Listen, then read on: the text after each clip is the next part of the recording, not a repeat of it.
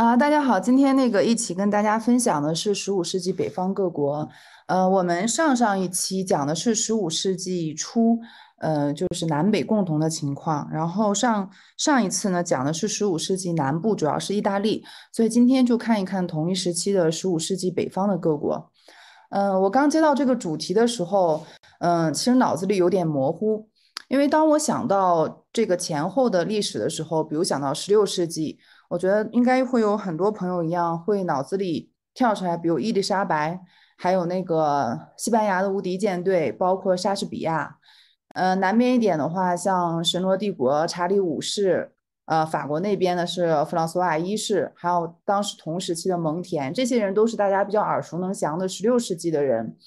嗯，当想到十七世纪的时候，我们会围绕三十年战争，有非常多的这种风云际会的英雄人物。嗯，比如法国的就是黎塞留，然后那个瑞典那边的古斯塔夫，包括当时候那个史上最伟大的宪兵队长华伦斯坦，还有我们最熟悉的太阳王路易十四，这些都是十七世纪的人。但十八世纪就更多了，欧洲丈母娘特蕾莎，嗯，还有那个蓬帕杜夫人，就路易十五的老婆等等，这些就是是后续非常让我们能够多少会知道的一些人。但是再回到十五世纪。嗯，至少我当时回想的时候，我脑子里是觉得这个时代，尤其是北方是非常模糊的一种现状。所以说，我就想先了解一下当时的这个社会，就是如果我们穿越回去，我们会是一个什么样的一个现实所面临。嗯，这张图呢，我放的是一个这个欧洲现在的一个国别的图，但实际上，当我们说到十五世纪北方的话，呃，我们主要是说英格兰，嗯，国土是没有变的，然后法国，还有包括现在的比利时和荷兰，以及呃，当时就是神罗里边的德语区，大概就是这一片范围，这片区域，啊，是我们所说的这个十五世纪的北方。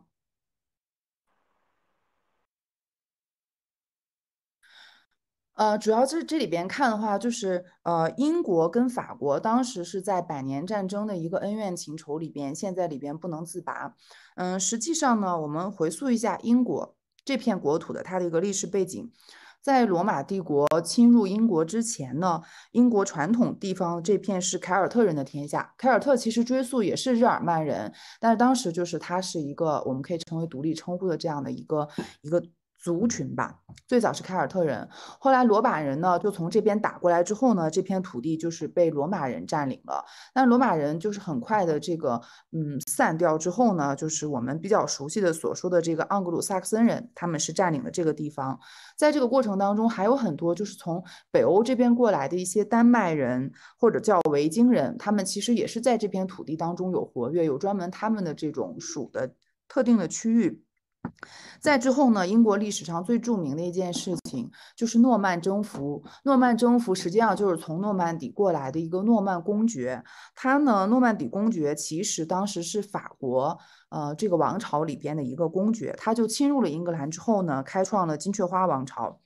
嗯，所以我们可以看到英格兰的历史呢，它的一些不止刚才政权的变更，包括文化的侵入，比如说罗马人进攻是从这边过来的，后来基督教到这个七世纪左右传入英格兰的时候，也是从法国过来的。所以说，实际上呢，包括那个诺曼。征服之后呢，这些金雀花王朝的初期的统治者，他们实际上都是从欧洲大陆，尤其是从法国这边过来的人。呃，所以说呢，嗯，整个的国家的一个文化，包括他们的语言，其实跟法国是相通的。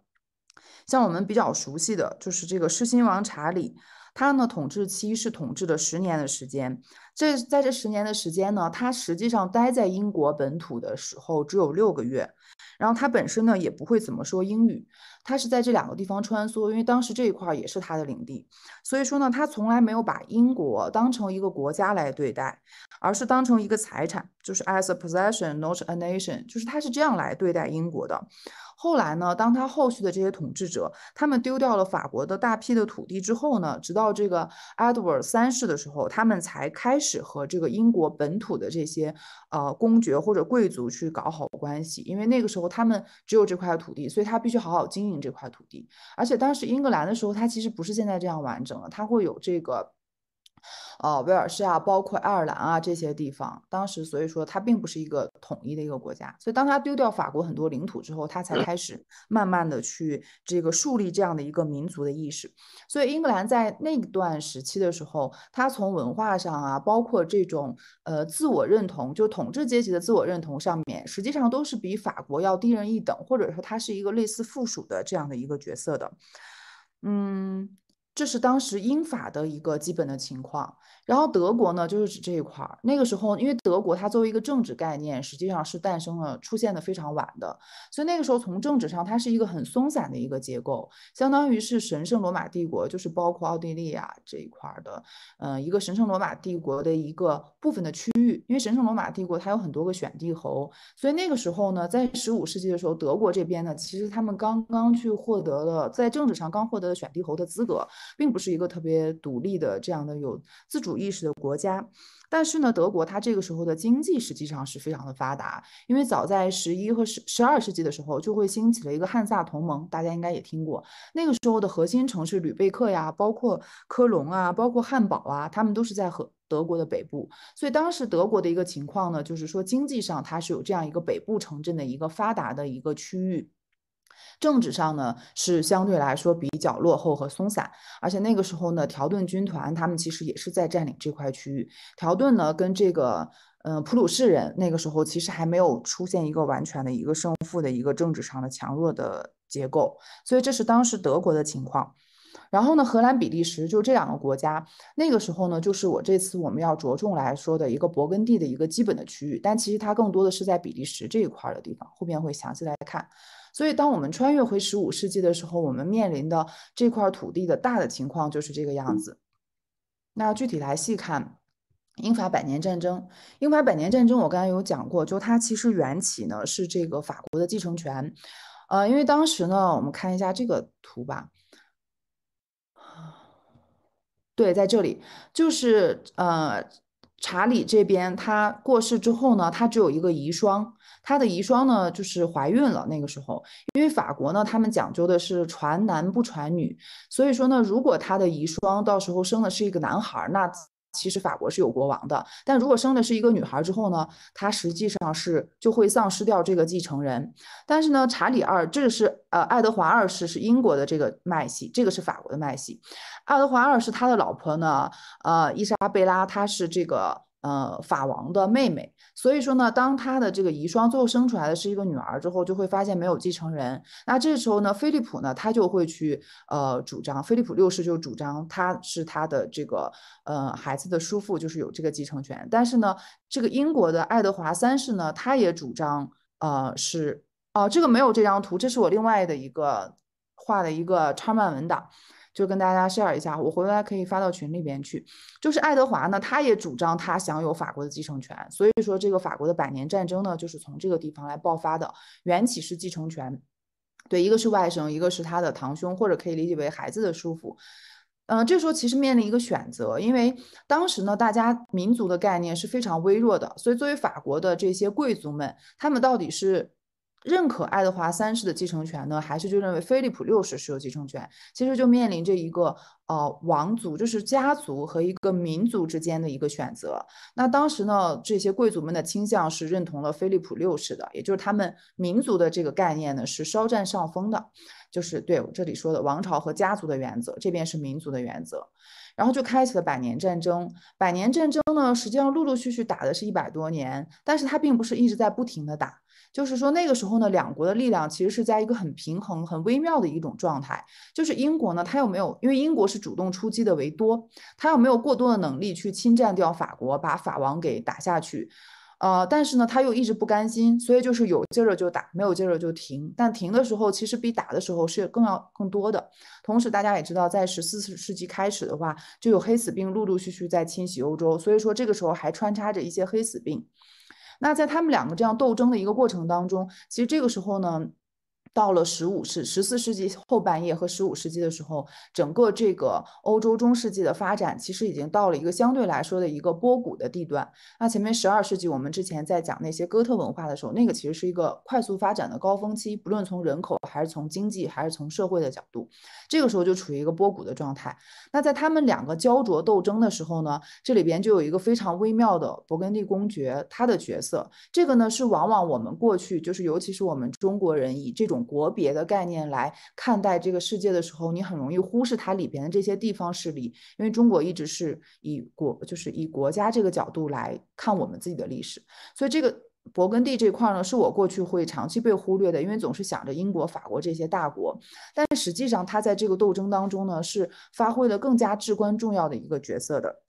所以我们就我就把它单拎了出来，我们来一起看一看这个被低估的勃艮第。勃艮第这个王朝呢，它实际上是很，并不是一个很长寿的一个王朝。它最早的第一位公爵呢是这个呃勇敢的菲利普，呃，他呢是这个查理五世的兄弟。我们再看一下这个王朝图，啊，在这里。呃，查理五世当时百年战争过程当中呢，他是一个相对来说，因为我刚才说是英国吊打法国居多，但是到查理五世呢，他是属于一个比较就是雄起的一个一个法国的法王，所以当时呢，他之后呢，其实是扭转了一些战局来复兴了法国的。但是他过世之后，他的儿子查理六世就是非常的窝囊，大家都一直觉得他是历史都说他是有精神病。呃，但实际上他就很软弱，所以这个时候呢，呃，这个菲利普就是勇敢的菲利普，在这个地方，这是勃艮第公爵的脉络啊，这是法国的，这是英国的，嗯，菲利普的时候，他其实，哎，我分享这个图，大家是可以看到的吧？因为我不知道是不是只有 PPT 才可以看到啊，sorry，sorry，哦，那他可能只识别我的 PPT，那我就回到 PPT 来说吧。呃，其实这个查理，呃，菲利普呢，他是这个查理五世的兄弟，就是法王一个特别强悍的法王，他的兄弟，相当于他是作为摄政来去管他的儿子，就是查理六世法王的正式的这个继承人的。当时他们有四兄弟吧，呃，所以他们三个都是摄政，像这个安茹的公爵啊，还有其他地方这些公爵一起来辅佐这个孱弱的查理六世。然后当时这个菲利普呢，他是娶了一个勃艮第的玛格丽特。就取得了勃艮第这边的一个公爵的权利，他的这个政治首府就是在地戎。然后呢，他还有呃，因为取得这个诺曼底这一块的，所以他的领土呢，就是我们看到的这个粉色的区域，这两块还包括中间这些飞地啊，其实都是他的这些领土。然后呢，呃，对，取的是勃艮第的玛格丽特，所以获得了这块地。接下来他的儿子叫这个无畏者约翰，对，第一个就是大胆菲利普或者勇敢菲利普。然后他的第二就是。第二位皇帝王公爵是在这里，叫这个无畏的约翰。然后第三位是这个好人菲利普，就是 Philip the Good，就是这个第三位。第四位就是勇敢的查理或者无畏者查理。他其实就这四位，呃，这个先后的皇族，在这个时期呢，呃，他们其实成为，嗯，当时的就是艺术界的第一批，就从十四纪晚期开始，就从菲利普这边。就成为呃，当时十四纪晚期之后艺术史上的第一批赞助人。其实不止包括勇敢的菲利普，还有他的其他的安茹公爵那些兄弟们。嗯，这个勃艮第这个地方呢，它是一个非常就是一个古代和现代特征并存的一个特殊的集体。嗯，经济上呢，当时呢贵族就在破产，资产阶级呢其实已经开始在积攒他们的财富，主要是这个啊弗兰弗兰德这一块的。呃，从政治上呢，嗯，实际上呢，当时他们是一个非常强大的政治力量。呃，他承诺要组织十字军东征，但是没有没有去兑现。可是当时所有希望去十字军东征的人呢，他们都会去争取这个诺曼呃勃艮第公爵的一个支持。呃，首先就是想取得他们的支持，所以他们是一个很强的政治力量。勃艮第公爵呢，还创立的金羊毛骑士团，这个大家应该也听过，还有一些相应的勋章，实际上都到后来很十八世纪一些法国宫廷文化说还会出现类似的这样的一些东西。然后呢，当时的很多这种各国的呃外交使臣啊，然后这些其他国家的年轻的王子啊，他们最觉得去最 fashion 要去去 social 的地方，就是这个勃艮第的这片他们的土地。所以那些人呢，他们就会经常出没于勃艮第的宫宫廷里面去。然后呢，就是大家赞赏这块土地，对他的赞赏是远远超过对法王那边的赞赏的。所以当时呢，他实际上是整个欧洲，或者说可以说整个欧洲一个国际的政治中心。这个角色呢，是远远超过这个英国和法国的这样的一些概念的。正是因为他们有非常强大的经济实力，有非常强大的这样的一个政治资源，所以说呢，他们也有相应的基础去彰显或者去传播他们的文化。因为勃艮第它政权的本质上是一个宫廷式的，还不是市民。那个时候还是宫廷制，只有到十七世纪，就查理五世之后，菲利普二世的时候，这边弗兰德这边才慢慢的去发展成一个市民或者说贵族共治的这样的一个文化，那是后话。所以这个时候它还是一个本质是宫廷式的。呃，这里边有很多非常好玩的八卦，我可以给大家分享几个，就是好人菲利普他第三位继承者。他呢，当时对应的法王是路易十一世，所以说呢，他送给法王路易十一的一些盘子，因为那边那时候是一种非常彰显权力的一种方式，就是餐具。他送给路易十一的盘子上面刻的是他们家的家徽。然后路易十一呢，当时的纯正的法王，他是比较穷的。路易十一登基的时候，他的宴会的这种盘子用的就是好人菲利普给他的刻着菲利普、刻着勃艮第家徽的这样的盘子，其实是很尴尬的事情。但是就是因为他非常的有钱，同时呢，我们可以看他们的着装，他们开始彰显黑色。所以就是黑色呢，就会成为时尚。那些从外地过来镀金的贵族青年呢，往往是在勃艮第承担不了非常高昂的生活费用。为什么？这个生活费用就包括他们要频繁的参加舞会，去这种社交场合，他需要置装费，然后参加宴会还要送礼。所以很多青年呢，就是那些其他国家的这些青年就。来这边为了镀金，可能就会破产。其实就像我们现在去跻身最名流，就像我们会去纽约去这样的地方参与这些奢华的东西是一样的，他就会会让他们经常苦不堪言，觉得父母给的生活费是不够的。啊，这里边还有一个很有趣的，给大家读一段话。这个就是他当时不是说他有筹备十字军东征嘛？为了筹备这个东征，他就准备了一场雉鸡宴。而且很搞笑的是，他这个雉鸡宴呢是设了观众席的，也就是你虽然参加不起，但是你可以来旁观。就为什么会有这样的一个搞笑的行为，就是因为他其实是要彰显他过，我们后面会讲，他是通过展示这样的一种文化来去取得他的影响力的。然后当时呢，有人就是这样来记载这场雉鸡宴的。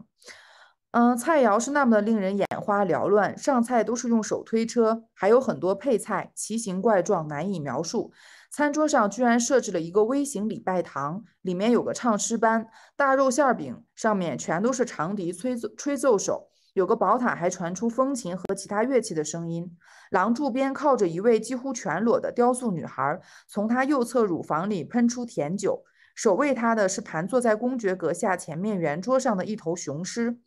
大厅高架舞台上有一群默不作声的演员表演着贾森的故事。公爵阁下的餐桌旁有一匹双头大马，两个骑手背靠背骑坐在马背上，每人手执一个喇叭，发出嘹亮的鸣号声。还有一个怪物是骑着大象的人，而另一个隐藏双脚的人跨在他的肩上。所以就是我们看起来觉得有点像这种人肉不是人乳宴的这样的一些非常奢华，然后非常奇葩的一些宴会的形式。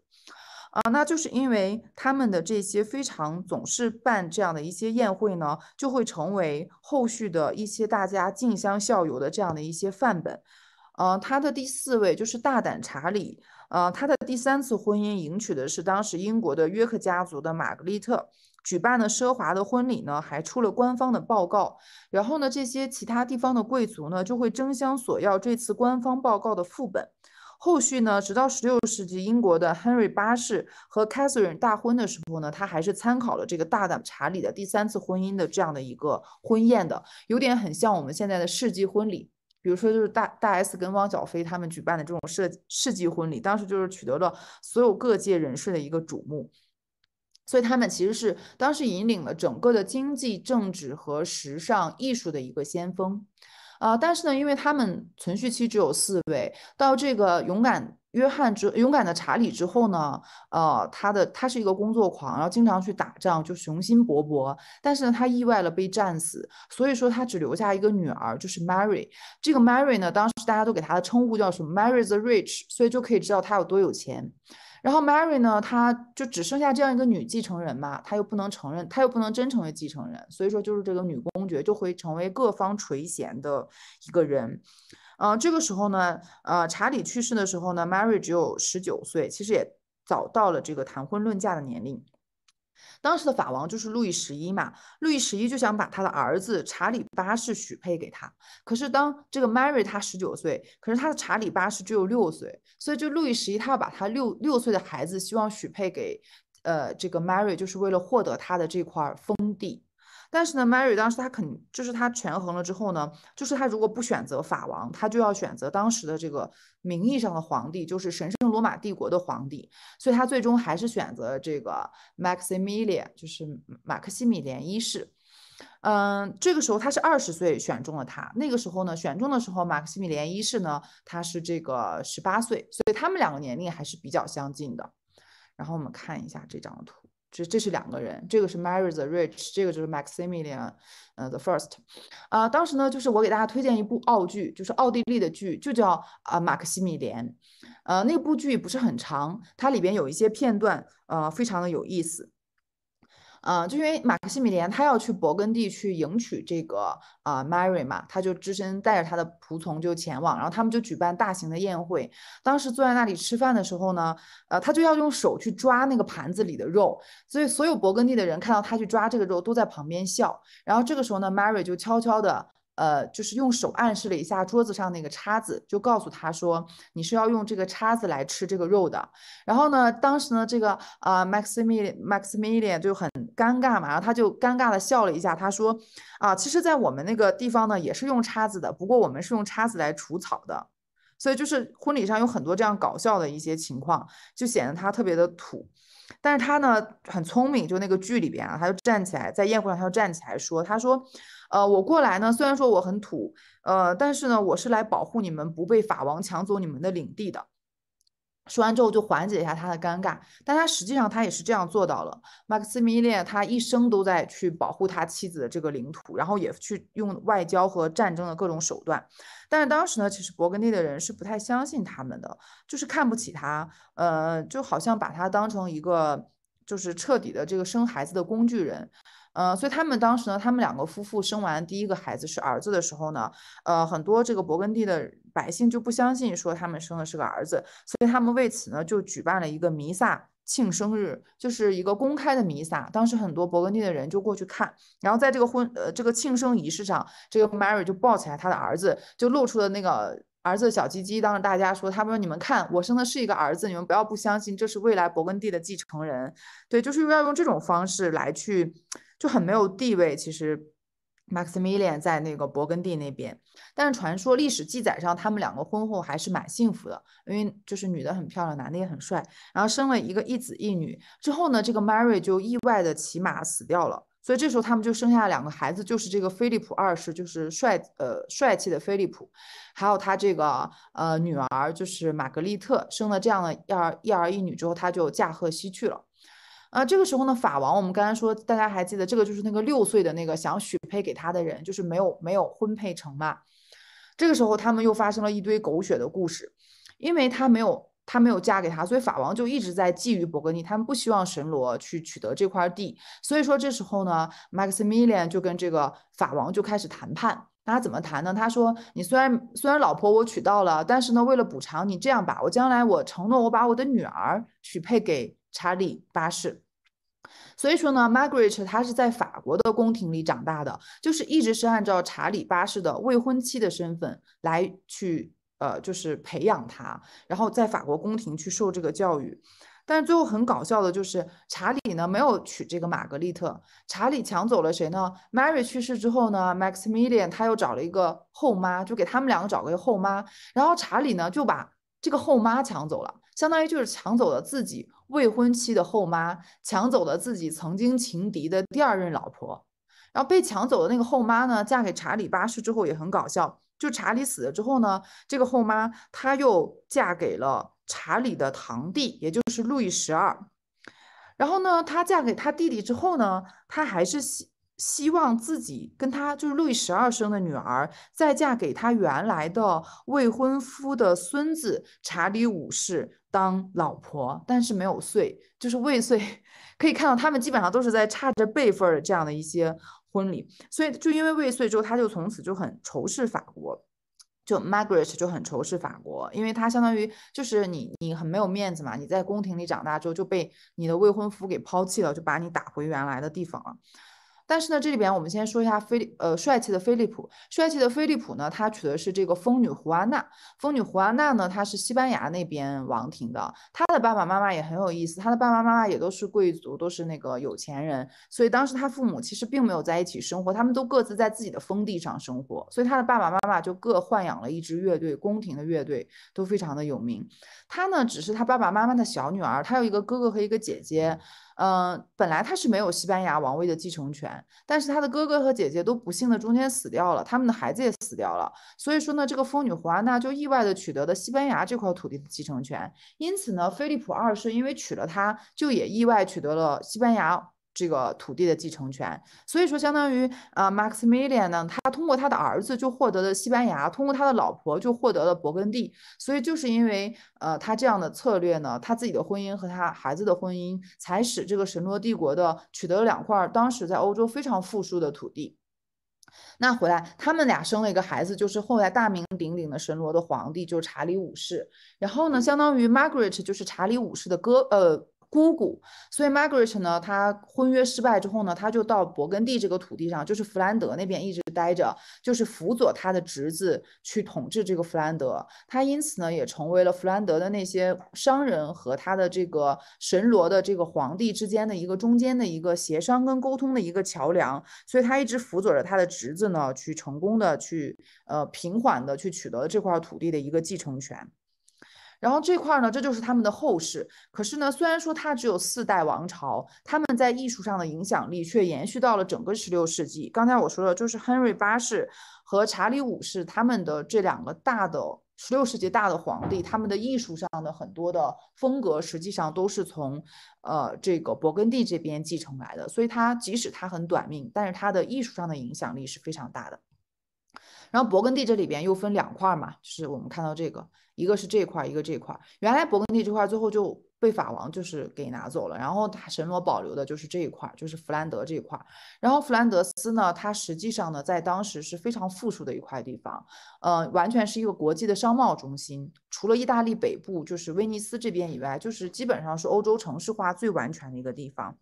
十五世纪呢，它的中心是在布鲁日；十六世纪到了安特卫普；十七世纪到了阿姆斯特丹。当然，十七世纪是我们后续再说的。这两个地方还有根特都是周围的。呃，当时很搞笑，就是因为呃神罗这个 Maximilian 他很土嘛，他继承了这块之后呢，这些嗯就是有一些当地的一些政权的一些不稳定啊，还打了仗啊，然后包括贵族和商人对他的不认可，所以自从他取得这块地方呢，中心就从这个布鲁日呢就转移到了安特卫普去。这个地方我再给大家读一段很有意思的，就是当时呢一个西班牙的一个做生意的人，他来描述这块土地的富庶，他是这样说的。布鲁日这个城市是个非常富裕的大城市，也是世界上最大的市场之一。据说有两个城市竞争商业霸权地位：西欧弗兰德斯的布鲁日和东方的威尼斯。但是以我所见呢，而且很多人与我不谋而合，布鲁日的商业规模要远远超过威尼斯。原因如下：除了布鲁日，所有西方城市没有什么大的贸易中心。虽然英国做一些贸易，而且为世界所有国家修缮船只。据说有时候从布鲁日港口出的出港的船只呢，数量每天能超过七百艘，而威尼斯则恰恰相反。且不论是否一直富裕，唯一参与贸易的不过是当地居民而已。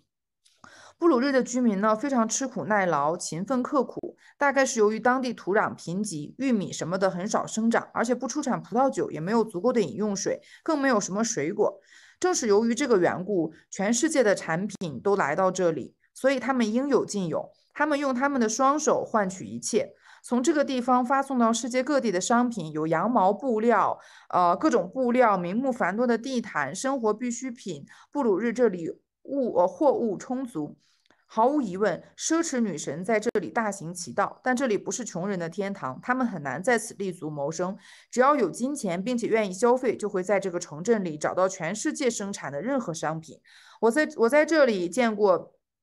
卡斯迪尔生产的橘子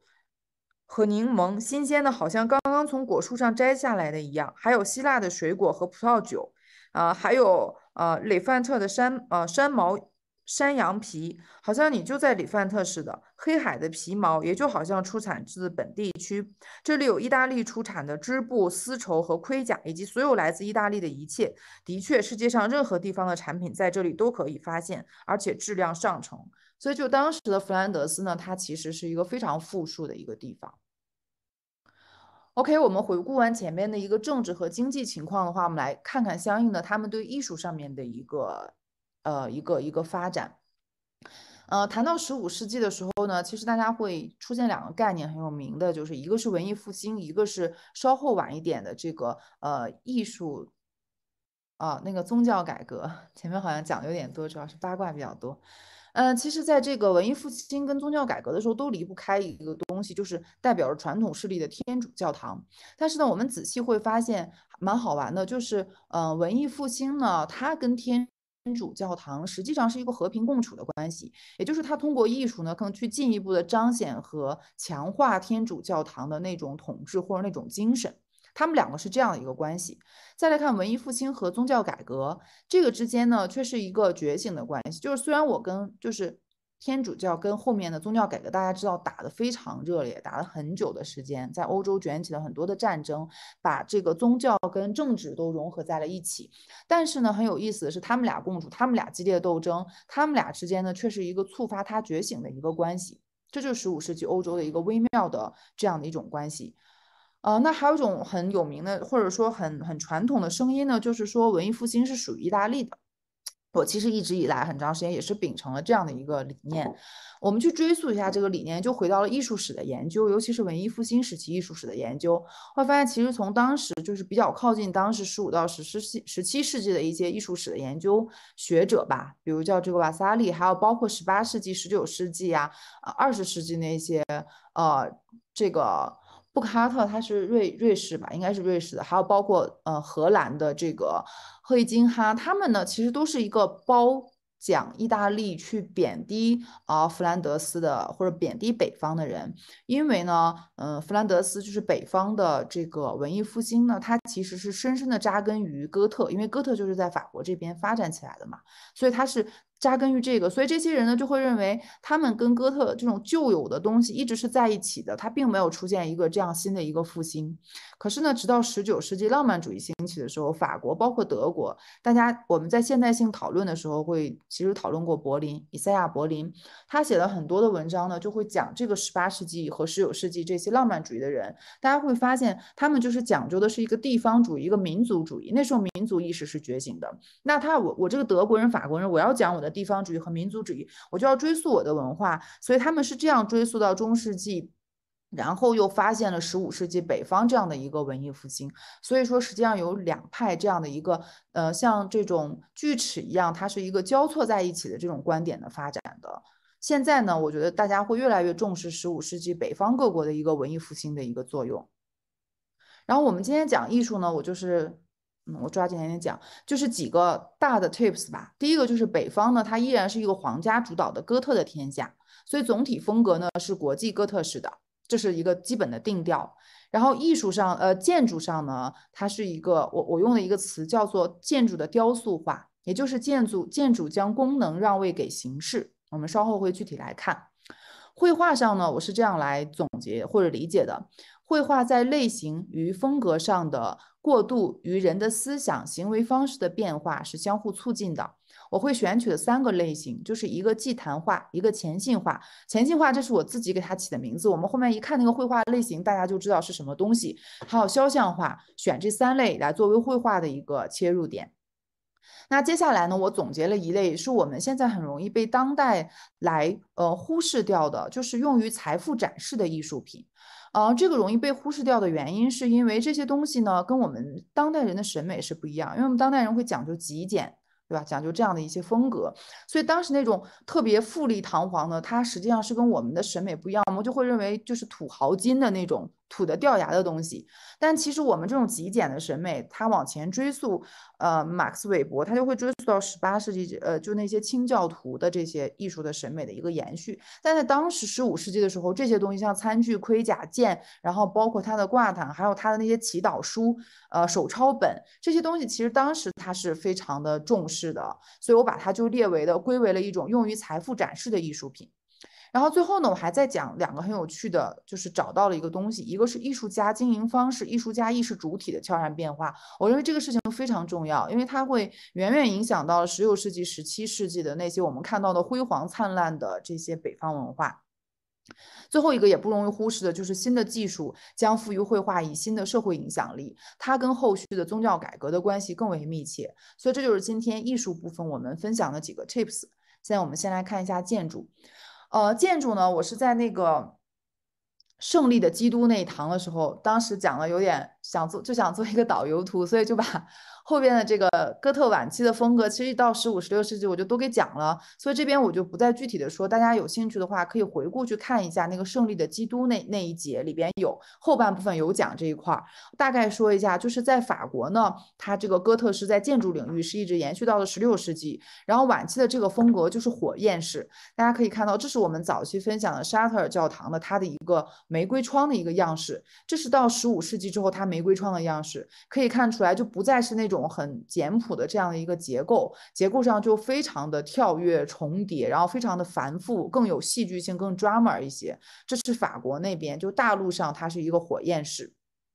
然后这个呢，也是我找了两张图，可以看到这是哥特的一个顶，它跟我们当时讲哥特的时候呢，它已经发生了非常大的变化。所以这个就是我刚才所说的，就是建筑的雕塑化，它的结构就是会让位于它的，它的功能会让位于它的结构，而结构就让位于装饰，你根本分不清这到底是一个建筑还是一个装饰。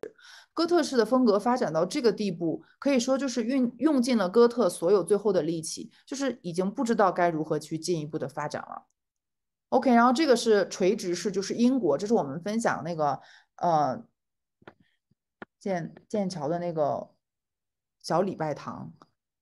对，这个也是因为英国的发展早期是在十二世纪末期和十三世纪，然后呢发展到十五世纪和十六世纪早期，就我们这个研究时期呢，它就是变成了这种垂直式。这个就大家具体去看，我就不再讲了。那是建筑的部分啊。咸阳君的字幕很给力啊，在那一期有。然后我们来看绘画，绘画的话，其实在上一期分享的时候呢，我们可以看到这个是马萨乔，就是十十五世纪初意大利那边的一个特点，一个早逝的一个天才啊。他之后呢，大家就发展成了两块嘛，一个是这个安吉利科，就是。他的一个风格，一个是这个格佐利的风格，它其实是在这个马萨乔基础上两种不同类型的绘画的方向的风格。那跟马萨乔同期的基本上是扬凡艾克，也是上上期分享过的，它是十五世纪初北方的一个特点，就这个是自然嘛，真实，这个是透视法。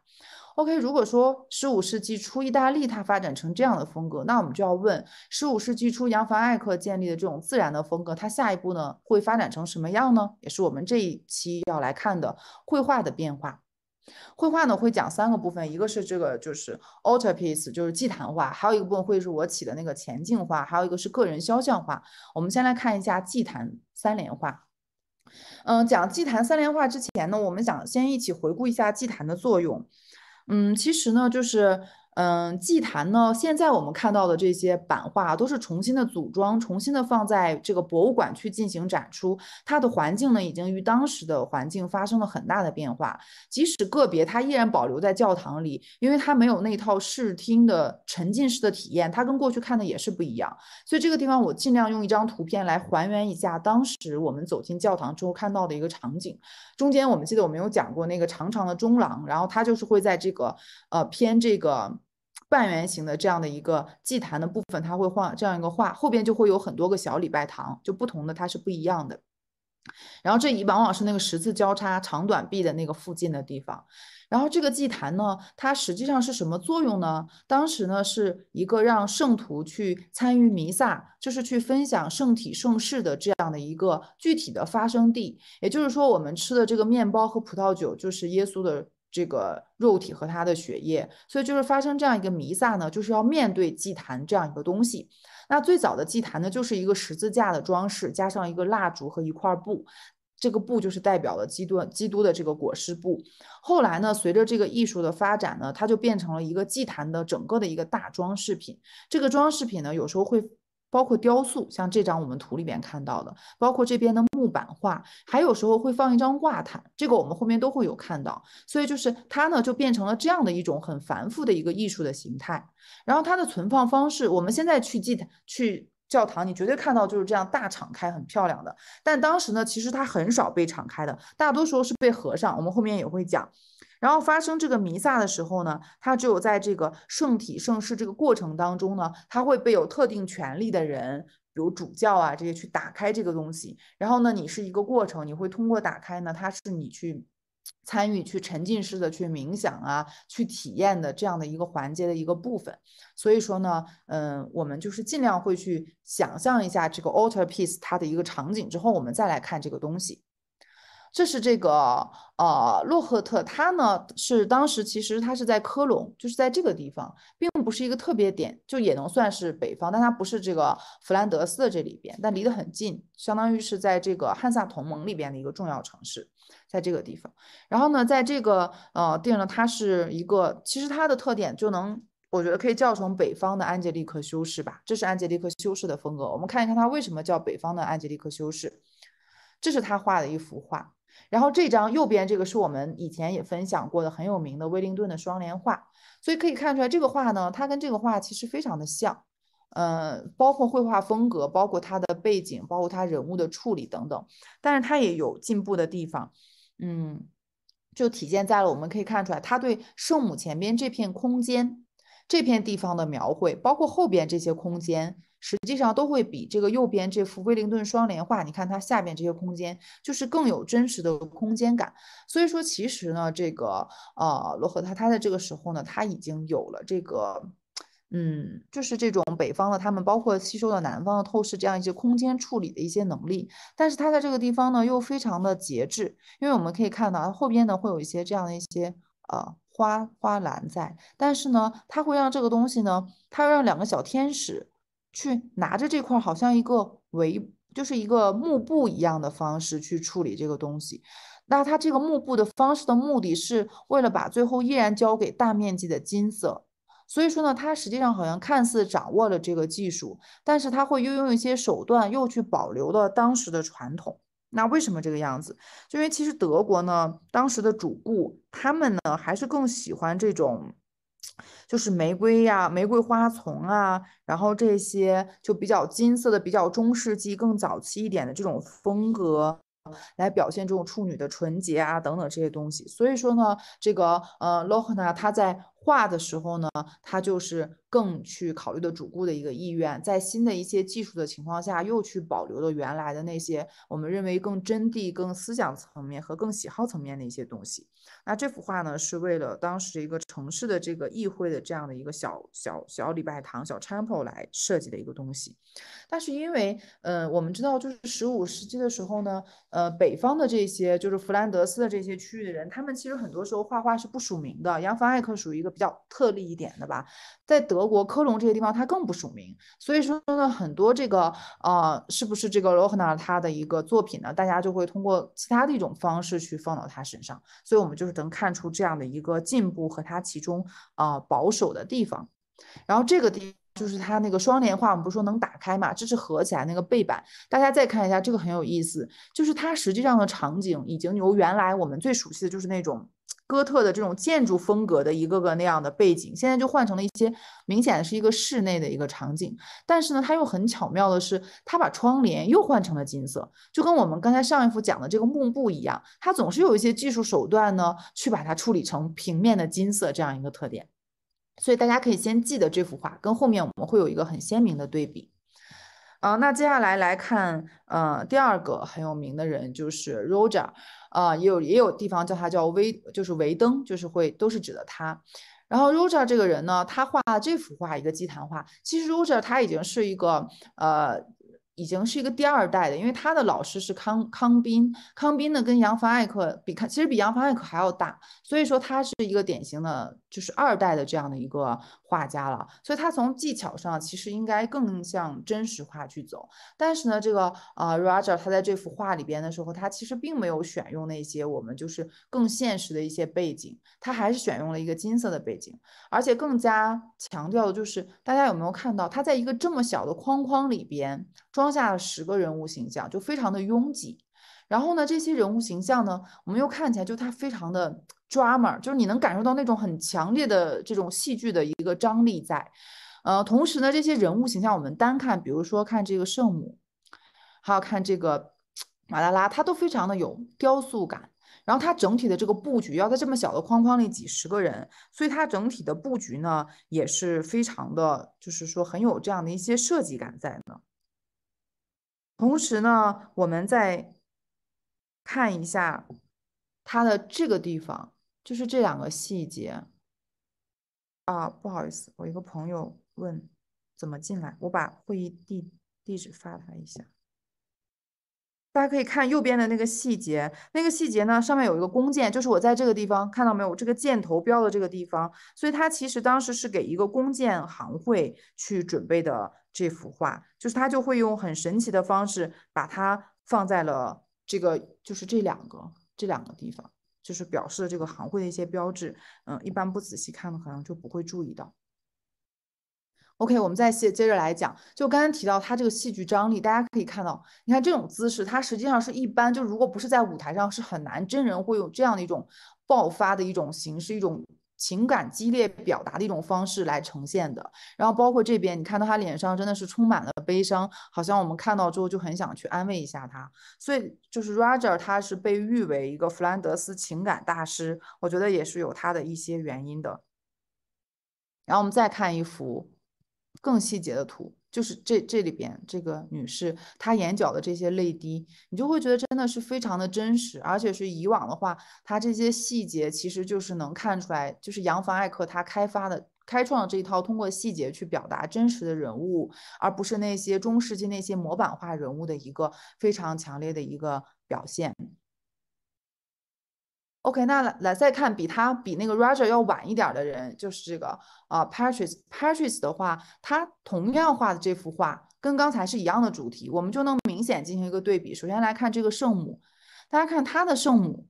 其实基本上我们就会发现跟 Roger 的圣母长得是一样的，但是它的颜色处理上、细节处理上的雕塑感没有那么强。然后再来看这个抹大拉，他就不是，他就是。他是这样的，就刚才那个特别夸张的戏剧的形式，他就放他换了个位置，因为原来在这边，他就跑到这边。但整体上大家会发现，这个人物就不会像刚才这么夸张的挤在这样的一个很拥挤、很戏剧化的一个舞台空间里。这是第一点。第二点就是他后边的这个背景就已经还原到当时更大家普遍所采用的这种背景里边。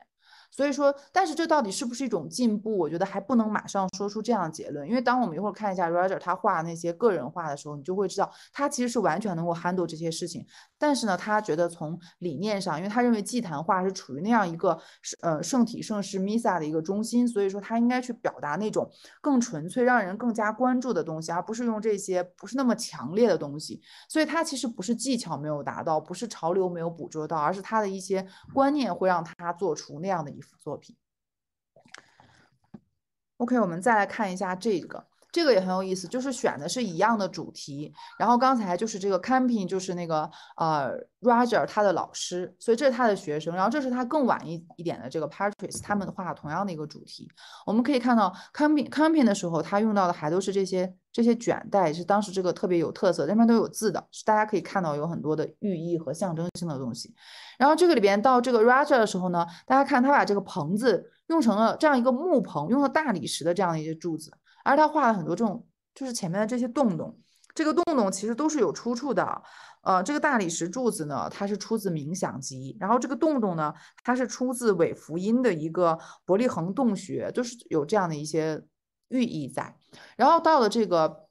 Patrice 呢，他其实是北方第一个真正使用透视法的人，所以他对后边这个背景的东西的一个描绘，那个焦点那个唯一的焦点的寻找，就远远会胜过前面两位。所以说，同样一个主题，这个嗯年代非常相近的三个人呢，他会去在这里边会有很多他个人的一些这种很难捕捉到的东西在，也是一个很有意思的对比。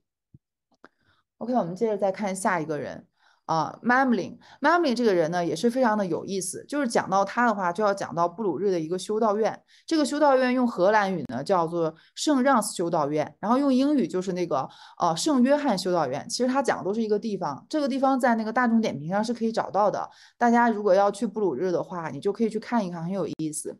嗯，然后这个地方现在呢，它已经改成了这个呃 Mamling 的一个纪念馆或者博物馆了。就是为什么改成这个地方？因为 m a r l i n 跟这个呃医院呢，它是有非常深的渊源。这个圣约翰医院呢，最早是十二世纪建成的，是欧洲最古老的一个医疗机构，也是当时布鲁日最大的一个医院。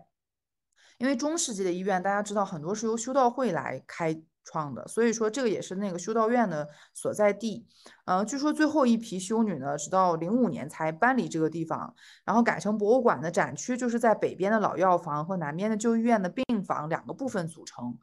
呃 m a m l i n 呢，他是这所修道院历史上最著名的一个病人。他在一四七七年呢，在南西战役负伤以后，在这里边住了好长时间，到一四九四年也是在这个医院里边故去的，所以说就把它改成了他的博物馆。这个地方呢，就是收藏的，目前有六件这个 m a m l i n 的作品，其中四件都是他受这个医院委托所创造的。然后我们现在看到的这幅画呢，就是在这个十九世纪的时候画的这个医院。右边这两个是这个医院目前的场景，我们可以看出来，看这个小窗，在这个地方。然后这右边这一排药房跟这个地方是对应，这个是左边这排药房和这些小这个小神龛的位置，还有包括这些罗马柱子，它们其实都是基本上跟嗯两百年前、一百多年前是没有什么发生大的变化的。然后讲他的六个作品里边呢，呃。大家如果现场去看，我觉得最震撼的应该是这个，因为它是一个立体的，它是为了纪念这个呃 Ursula 这个圣，就是后续被封圣的一个女性呢制造的这样的一个圣物箱。这个圣物箱其实非常的丰富，它有前后面，还有上面，还有侧面。我们这边就看一下它侧面这六幅画，就是讲了这个圣人呢他的一生的这个生平，去游历，最后又回来的这样的一个过程。呃，但是呢，我更想详细来讲的是这幅画。呃，这幅画呢，它是献给这个福音书作者的约翰和施礼者施洗者约翰的两位圣徒的，都叫约翰。然后这个福音书的约翰就是右边这个人，施洗者约翰呢就是左边这个人。嗯，那左边这个人呢，他是画了施洗者约翰被自己的迷妹莎乐美，就是被人斩首之后，把他头颅送给莎乐美这样的一幅场景的。然后右边就是这个福音书的作者约翰呢，他在脑补启示录画面，在这个地方这个场景的。然后中间画的是圣母子和圣徒，圣母就是怀抱耶稣坐在中间的这个宝座上，站在他身旁的就是两位约翰，他的这个主保就呃这个医院的主保圣人。然后前面这两个女子呢，就是 Catherine 和 Barbara，她们两个都是因为坚信耶稣是自己老公，遭到异教徒杀害的一个脑残粉。然后我们想注意让大家看的就是圣母后边这个挂毯，这个挂毯就是当时我们一直说的那个奢华东西的一个展示，它其实已经出现在了当时的这个木板的壁画里边。然后这个画毯呢，就是画的非常的生机勃勃，呃，后来在这个 m a m l i n 的很多作品里也会再现，所以大家干脆就把它叫做这个啊梅姆林毯。这是这个比较有名的画，然后这个场景就是当时就是现在这个呈现这幅画的一个场景。这侧面两个板呢，这边是他的就男修道院的院长跟副院长，右边呢是这个女的，他们后边站的就是他们的主保圣人。然后上面这个装饰大家可以看是常见的哥特式的这样的一个打开这个板合上这个板子之后的他们的常见的装饰。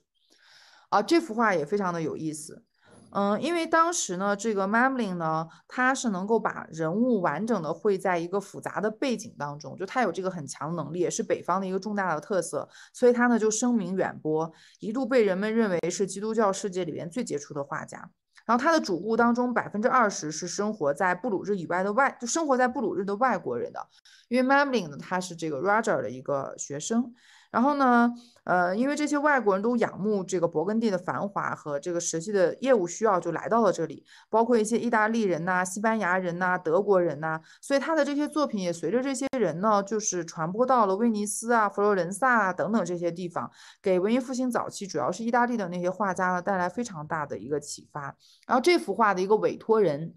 呃，叫丹尼。他就是一个英国人，他是当时英国的皇帝爱德华四世的一个官员，所以这幅画的就是他们一家人都出现在这个里边，这是男主人，这是女主人，这是他们的孩子。所以当时呢，他们画的这些祭坛画呢，就会有这些这个赞助人呢，把自己画到的主主的这个中央的这个祭品里边，因为一般他们会在两边或者合上板的地方，就像上一幅画一样，但他这个就画在这里边，就是一个外国人，来自英国的外国人。他一定是到了布鲁日这个地方，然后才能请 m a m l i n 来画的这样的一幅画。接下来我们就是看这个 Hugo Vandigos，他呢是一个，嗯，就是可以说是跟 m a m l i n 并列的，属于后期的一个呃非常有名的这样的一个画。然后呢，他呢也是很有意思的。就是，嗯，在我们刚才谈到的启发意大利人，在这方面的话，其实这个呃，Hugo 他比那个 Mamling 呢要更去要更厉害一些，呃。他当时是在这个根特来崛起的，也就是把弗兰德斯的这个祭坛画的艺术呢，认为更向前去推到了万众瞩目的这样的一个时代的前沿。但他和 m a m l i n 不同，呃，Hugo 呢，他不是从就是弗兰德斯三剑客那个传统里边走下的这样的一个正规军，所以没有任何记录去显示他和某位大师去学习绘画的经历。看上去他更像一个野路子出身的人。呃，所以说他一生的作品实际上是非常的多变的，呃，然后呢也非常鲜明的个人的特色，就是靠这种个人特色呢，他是一点点去获得了自己的这个阵营。二十七岁的时候他就加入了那个 Guild，就是那个行会，然后三十三岁就成为了 Dean，就是那个行会的院长。由于当时的根特呢，它其实是和布鲁日齐名的一个纺织业的重镇，政治地位还是蛮高的。所以说呢，Hugo 就开始在这个地方，他就为那个我们刚才说的勃艮第勃艮第公爵大胆查理去作画。哦，刚才那个咸阳君也说到前面的这些花名，是这些花它其实都是有很大的象征意义的。呃，有的是像百合啊这些，就象征的受难于。这个悲伤，然后鸢尾花就象征了圣母的纯洁，然后包括这个麦子和这个嗯花瓶里的葡萄藤，实际上也都是有意义的，就是代表了圣餐，因为葡萄藤就是酿出葡萄酒，麦子就是做出的面包。啊，张老师说的，不好意思，看错了。啊，这幅祭坛画呢，它叫这个。其实是 Portinari，他是给这个 Portinari 这个人去画的。然后 Portinari 呢，他是这个美第奇银行在布鲁日分支的一个负责人。所以说 Hugo 呢是接受了这个 Portinari 的委托，去完成了这幅最著名的 Portinari 祭坛画的。嗯，这里边插播一点，就是这个呃美第奇银行的布鲁日分行的行长这个。角色，我们现在银行的行长好像干的事情啊也蛮杂的，但当时更杂，他其实更像那种浙江商会、呃这个山西商会、湖北商会这种会长的角色。嗯，我记得看那个电视剧里边就说美第奇家族呢，就是有一个他们其他城市的人在他们的城市里发现了明矾，然后呢他就因为明矾是当时做染料的一个重要的原料，就是能呃是被教会垄断的，然后他们自己没有能力开发，他就。专程到了佛罗伦萨去找到了美第奇，呃，找到了洛伦佐，说我有这个东西，呃，所以你们能不能去，就是帮助我辅助一下去开发？然后美第奇呢，就是利用跟教会啊，跟各个这个政治的这些关系呢，就去开发，参与了这个明矾的开发，然后呢，包括去跟教皇协商这个定价，其实就是寡头垄断。但他能做这个事情，而他从中会牟利，所以说他们那种分行的行长，并不是只是就是我们现在行长就是只做信贷啊，或者说挖掘大客户啊，或者说私行业务，他实际上做了好多就是刚才那种会馆和这个商会的这样的一些工作，所以这个分行的负责人 Portinari 呢，他应该还是蛮有名的。就画了这幅画，也成了 Hugo 后来他最大的一个自己的这个最负盛名的作品。所以那些人他们就会经常像买办一样的负责买一些挂毯、奢侈品、画呀等等，他们就要会到每每每两个月这样的集市里边去采购这些奢侈的东西。我们后面会详细的来讲。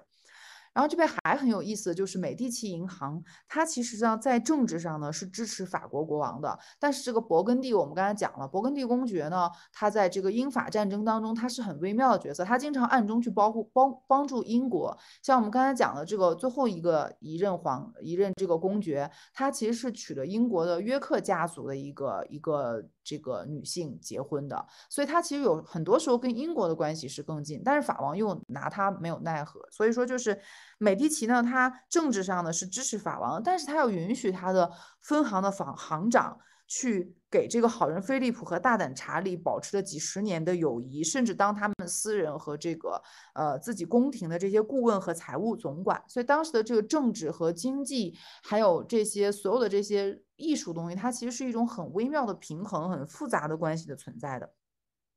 这幅画中央画的就是耶稣的诞生，嗯，来自耶稣呃故乡的这个呃伯利恒的三个牧人来朝拜圣婴耶稣的一个场景。然后这三个牧人就是被非常形象刻画成这种农民的一个面孔和举止，脸上带着这个惊讶和很虔诚，嗯，很很就是这样的一些神情。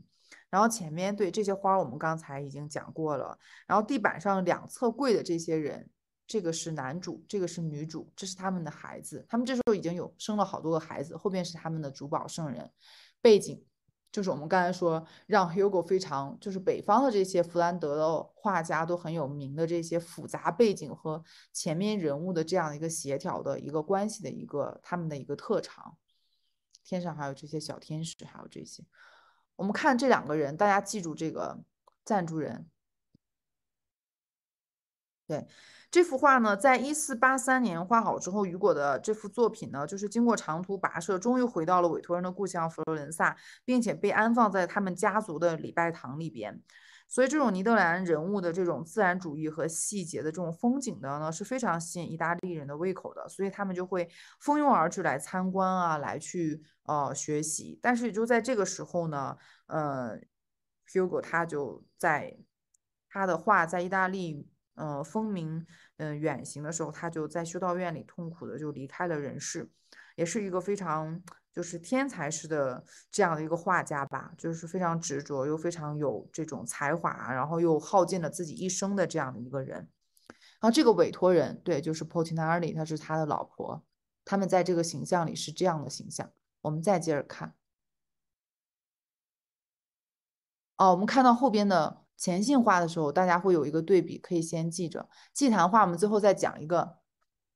隆重介绍登场的一个一幅画。我不知道大家有没有人看这幅画，会知道这幅画是什么？可以说画的名字，也可以说他的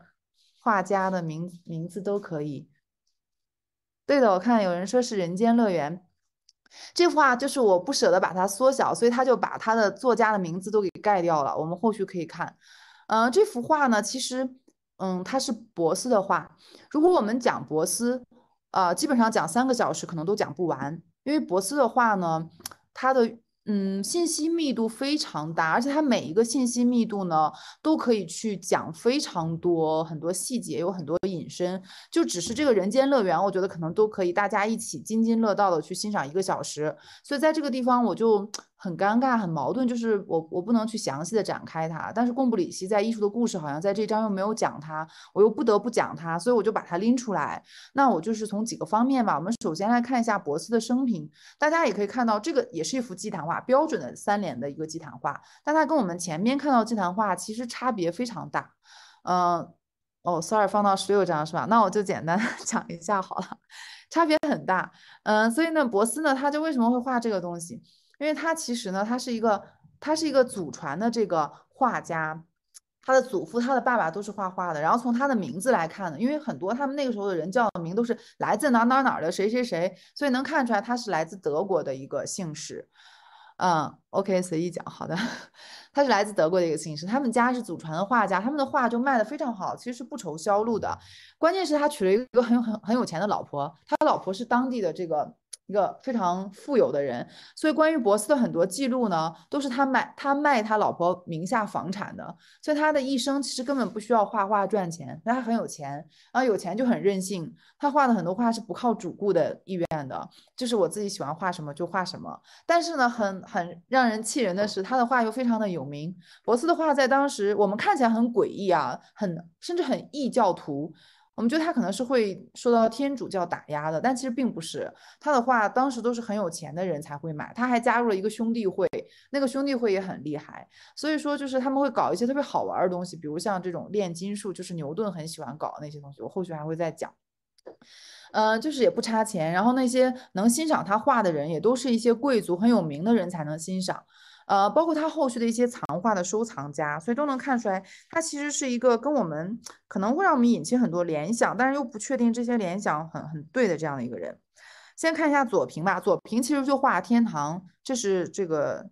上帝拉着亚当和夏娃，上帝用左手抓住了夏娃，他们有人认为这象征着婚姻的一种东西。然后呢，这个后边会有一个很很奇幻的喷泉，然后还有很多像这个，你看这个独角。独角兽是吗？就是一些不存在的这些动物的形象，包括前面这些动物，但整个这幅画看起来是很安宁祥和的。呃，可是也有人说，你看我们能看到一些捕捉动物之间的残杀，实际上上帝是希望他们都吃素的，好像跟佛教很像啊。但是这边动物的这些捕捕捕杀，又隐隐的又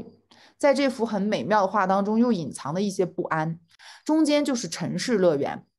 也就是人间乐园，这个里边看这个喷泉，其实有很多就类似的这样的一些变体在这个里边，然后还有很多这种圆形的，看这个洞，这个洞，包括这个下边这个洞，都是有一些连贯性的东西在。然后我们看整体这幅画呢，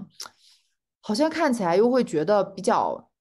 就是比较纵欲。呃，包括哪方面？就是他们很多，你看这些人从一一伸手就能摘这个树上的果子，包括有很多这种大的草莓，它其实象征着丰饶的物产和多产。所以说，就是这些好像这些，嗯，我们的这些食欲啊，包括大家这些这种性欲都是非常容易满足的。然后人在这个里边就活得非常的欢愉，非常的就是放纵，嗯，这样的一个大的场景在。然后呢，接着就看右边，就来到了地狱。地狱的话，就是首先颜色上就截然不同。然后它的这些看有很多暴力的这些东西，包括这些绑着人的这些东西在。所以就是它后边利用的一些暗光来表明地狱，但前面又用这样的一些形象给了一些嗯明亮一点东西，让你去看到这些具体的里边的这些很残暴的或者很灰黑暗的这些内容。所以整体上这幅画呢，嗯，就是它有很多细节我们可以去讲，但是我们。在这个地方先讲这么多，呃，大家后续呢，如果要看博斯的这个一系列，他画了很多这种祭坛画，如果要想读懂他的祭坛画，我我这里边给了几个 keywords，就是一些博斯的元素，我觉得可以供大家去，呃，顺着这些东西去进一步的去看，你会捕捉到自己更多的一些细节，但是这个地方我就不再详细的讲，就第一个点，第一个 keywords 就是细节。我们刚才讲到那个圆的洞，包括那些喷泉，它其实博斯的这些细节呢，在不同的语境当中是重复的，靠这种重复来获得一种统一解读的可能性。因为他本来画那个画其实是非常的，就是密密麻麻、密集恐惧症，然后你很难有一个统一性的，不像我们以前看那些祭坛画。所以它正是靠这些细节的不同语境当中的重复和变体，以让观者去获得一种统一解读的可能性。所以第一个 keywords 就是细节。第二个就是杂糅，杂糅是什么意思呢？就是他把你看了很多很熟悉的东西，但是又现实中不可能在一起的东西，他就是把它组装到了一起，所以让你感到既熟悉又有一种隐隐的不安在。然后第三种就是他的这种奇幻和幻想，就是博斯的很多东西啊，它其实际上是有很多的叙事性和象征性的解读的。我就随便说两个树人，树人就是这个里边，就是这个东西。大家可以看到这个树人呢。它是这个，它有人的头，它又有鸟这样的一个身体，它又有树的这些腿，它是这三者的一个杂糅。但是你看到这个形象的时候，你会有很强的不安感，你会感到它其实，因为它正是因为这种杂糅的东西，它让你感到好像它是一种变形的过程，不是一个终点的结果，因为你不熟悉它，这种变形是一个缓慢而残忍的这个过程。然后你看到这个人好像在下沉，然后因为。这些树枝，大家看到，就是穿透的它的身体，看穿到里边，穿到外边，它就好像很沉很软的一个东西在往下陷，然后让这个树枝很痛苦的刺破了它的躯体。这里边的这个蛋形，在这里边就好像一个肛门，它后边还是开放的，很多人很冷，爬上来取暖，但它最终好像还是会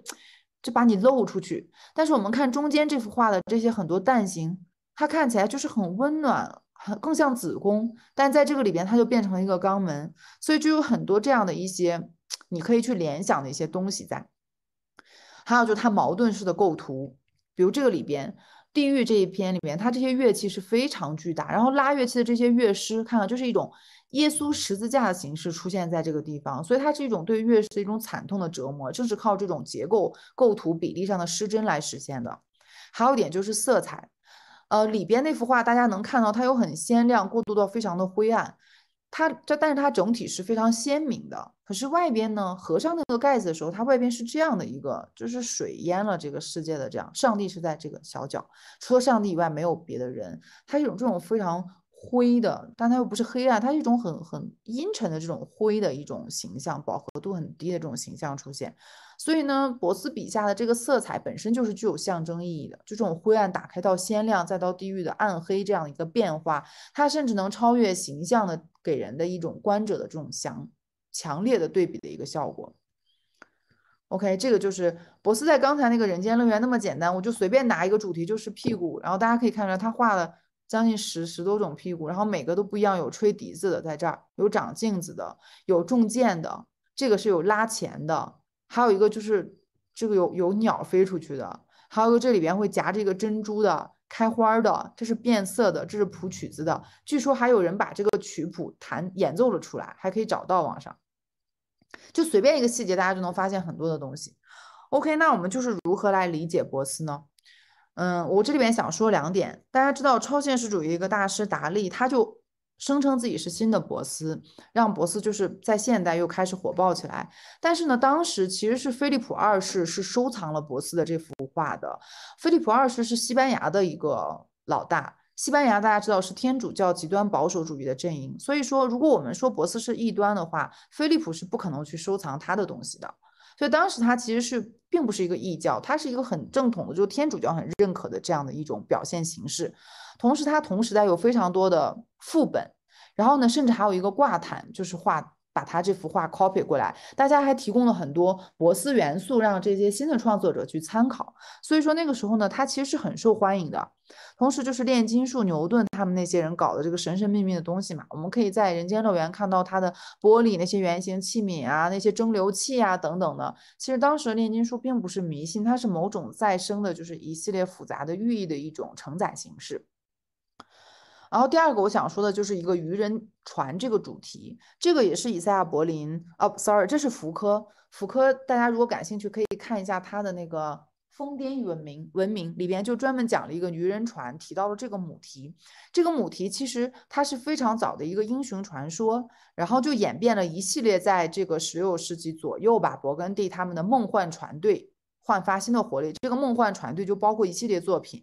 呃，有这个，包括我们很熟悉的这个 Erasmus 写的这个《渔人颂》，还有一些淑女船啊等等这些一系列的。然后博斯自己他是画过渔人船这样一幅画的，只不过我这儿没有放出来。所以说，就是他的理解其实是一个非常多样化、非常复杂化的一个一个人物。我就放在祭坛画的最后一个部分，我觉得一定要点一下他。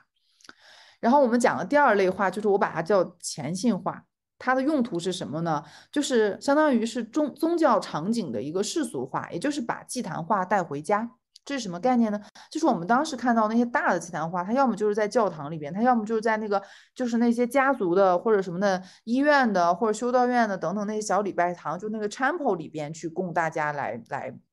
来去这个嗯。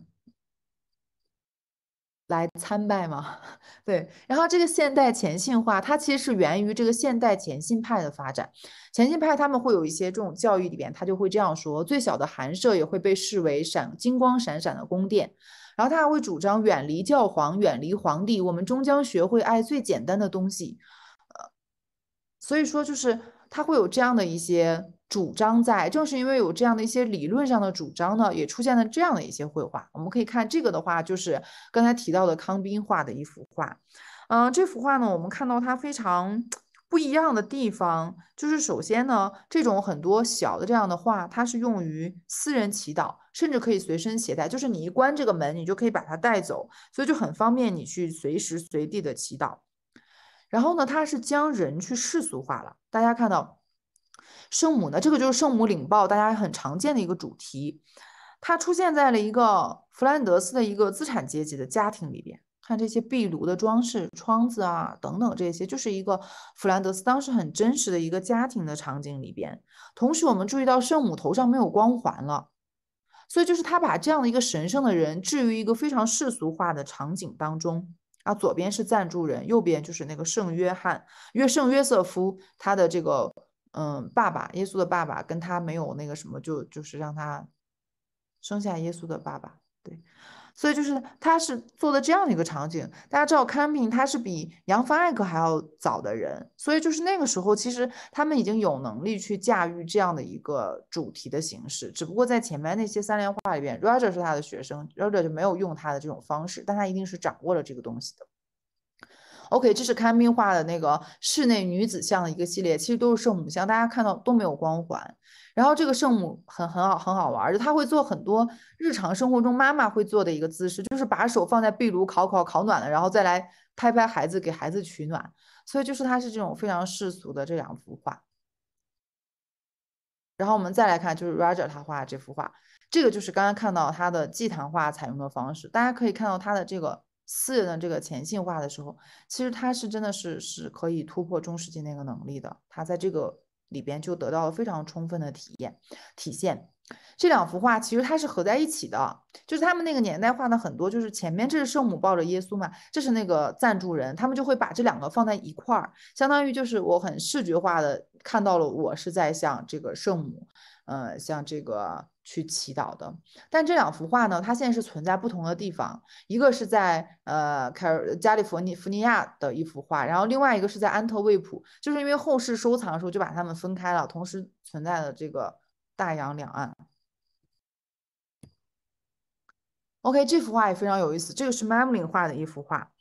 然后这幅画呢，大家会看到这个，嗯，这个是。呃，这个的委托人，这个委托人呢是他是马丁，然后马丁呢他也很有意思，他是当时那个我们前面讲到 Maximilian 他不是过来到这个弗兰德斯去娶 Mary 的嘛，然后呢就先先后引起了很多政治的动乱，然后呢这个这个委托人呢他就是挺这个 Maximilian 这一派的，呃，所以说他后来呢他们一系列都做了官，然后在当地有了一些势力。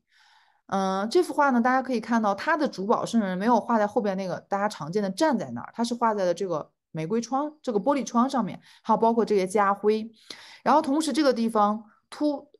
凸镜的这个元素，我们在杨凡艾克那里边是非常清晰的啊，他是把他自己画在了这个镜子里。但是这幅画的这个凸透镜里边看到，这是啊。这个圣母的背影，这是这个马丁的背影。他利用凸透镜的这个方式呢，让这两个人呈现在了同一个空间，就是共处同一个空间。相当于呢，他不只是在这个双联画里边让你们两个这样相近，他是直接画到了一个空间里边。想强调的就是人性和神性，他们人离神会更近，就是你可以这样直面，甚至你们可以在同一个共处，就是很符合前信派他这一套理论上的。一些主张的，所以说就是这个途径，它放在这里其实有非常重要的一个我们对于这个理解当时的这突破或者当时的一个潮流的一个意义。OK，这个就是回到了啊，还是 m a m l i n 画的，这我记得大家刚才就是那个 Hugo 啊画的时候呢，那幅非常有名的呃 Portinari 祭坛画的时候，这两个角色，然后大家有没有看到跟他们很像？其实他们还是那个 Portinari，但是这幅画呢，大家就猜测它应该是一个婚姻的这样的一个肖像画，也就他们结婚的时候是请了 mamling 来给他们画了这幅画，然后呢，呃，中间应该也会有一些圣母，但是这个存在的不保存的不完全，就能看到他们两个。然后呢，他到了这个布鲁日之后呢，他又请了 Hugo 给他做了一个大的祭坛画，其实都是这个 Portinari，所以他当时是非常的呃有名有有社会地位的这样的风云的一个人物，画的这幅画。Sorry，呃，我把这个女女士她老婆就是很清晰的给他拎了出来，大家可以看到，呃，这是两种，这个是 Hugo 的画法，这个是 Mamlin 的画法。其实同样一个人，看他的那个像是脖子里戴这个东西是能看出来的，是同一个东西。衣服也是非常的相近的，包括头饰这些，还有这个纱巾。但是他们两个人却画了两种截然不同的画法，这个好像就看起来更活色天香一些，这个就看起来更虔诚一些。如果是这个女主的话，她大概率可能会喜欢她呃 Memling 这种画法吧。所以就很有意思。同样一个人请了当时最有名的两个画家来给他们作画。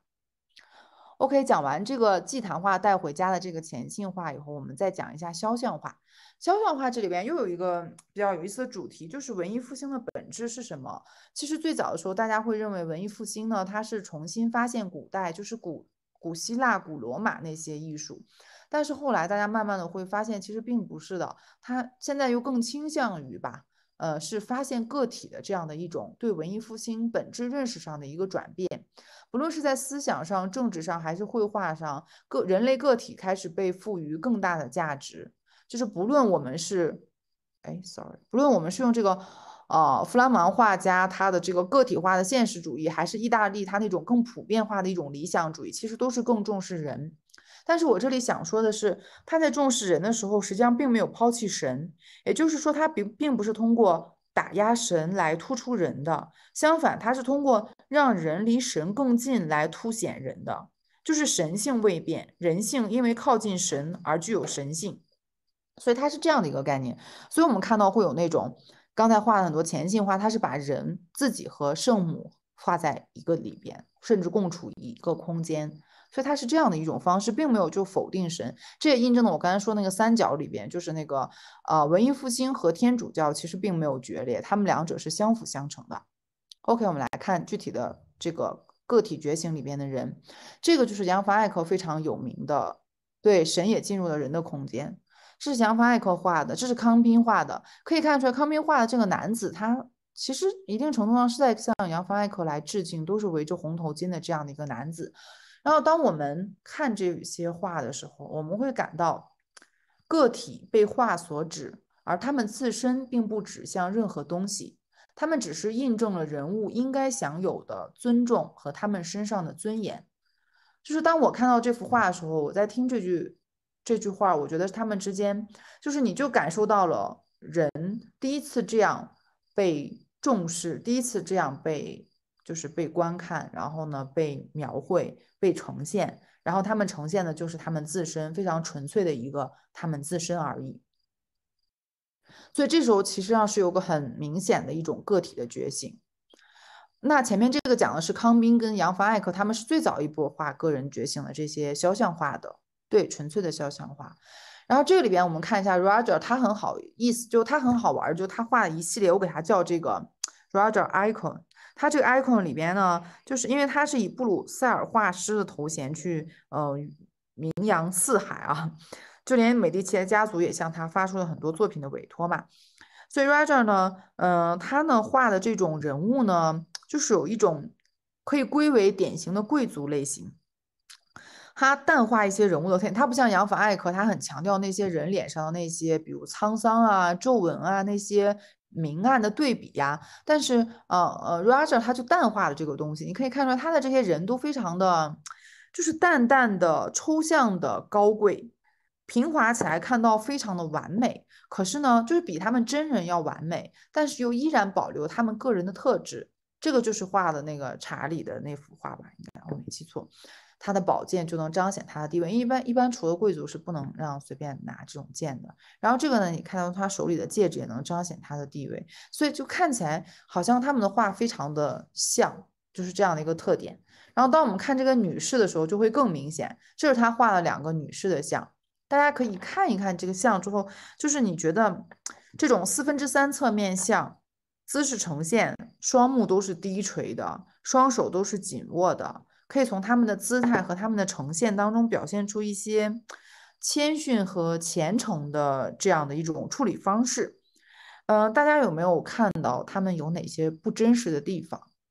因为北方我们一直讲的是真实的自然主义嘛，就大家看他们，你们会觉得哪个地方好像看起来不太像真正的人呢？或者说作家去做了一些处理呢？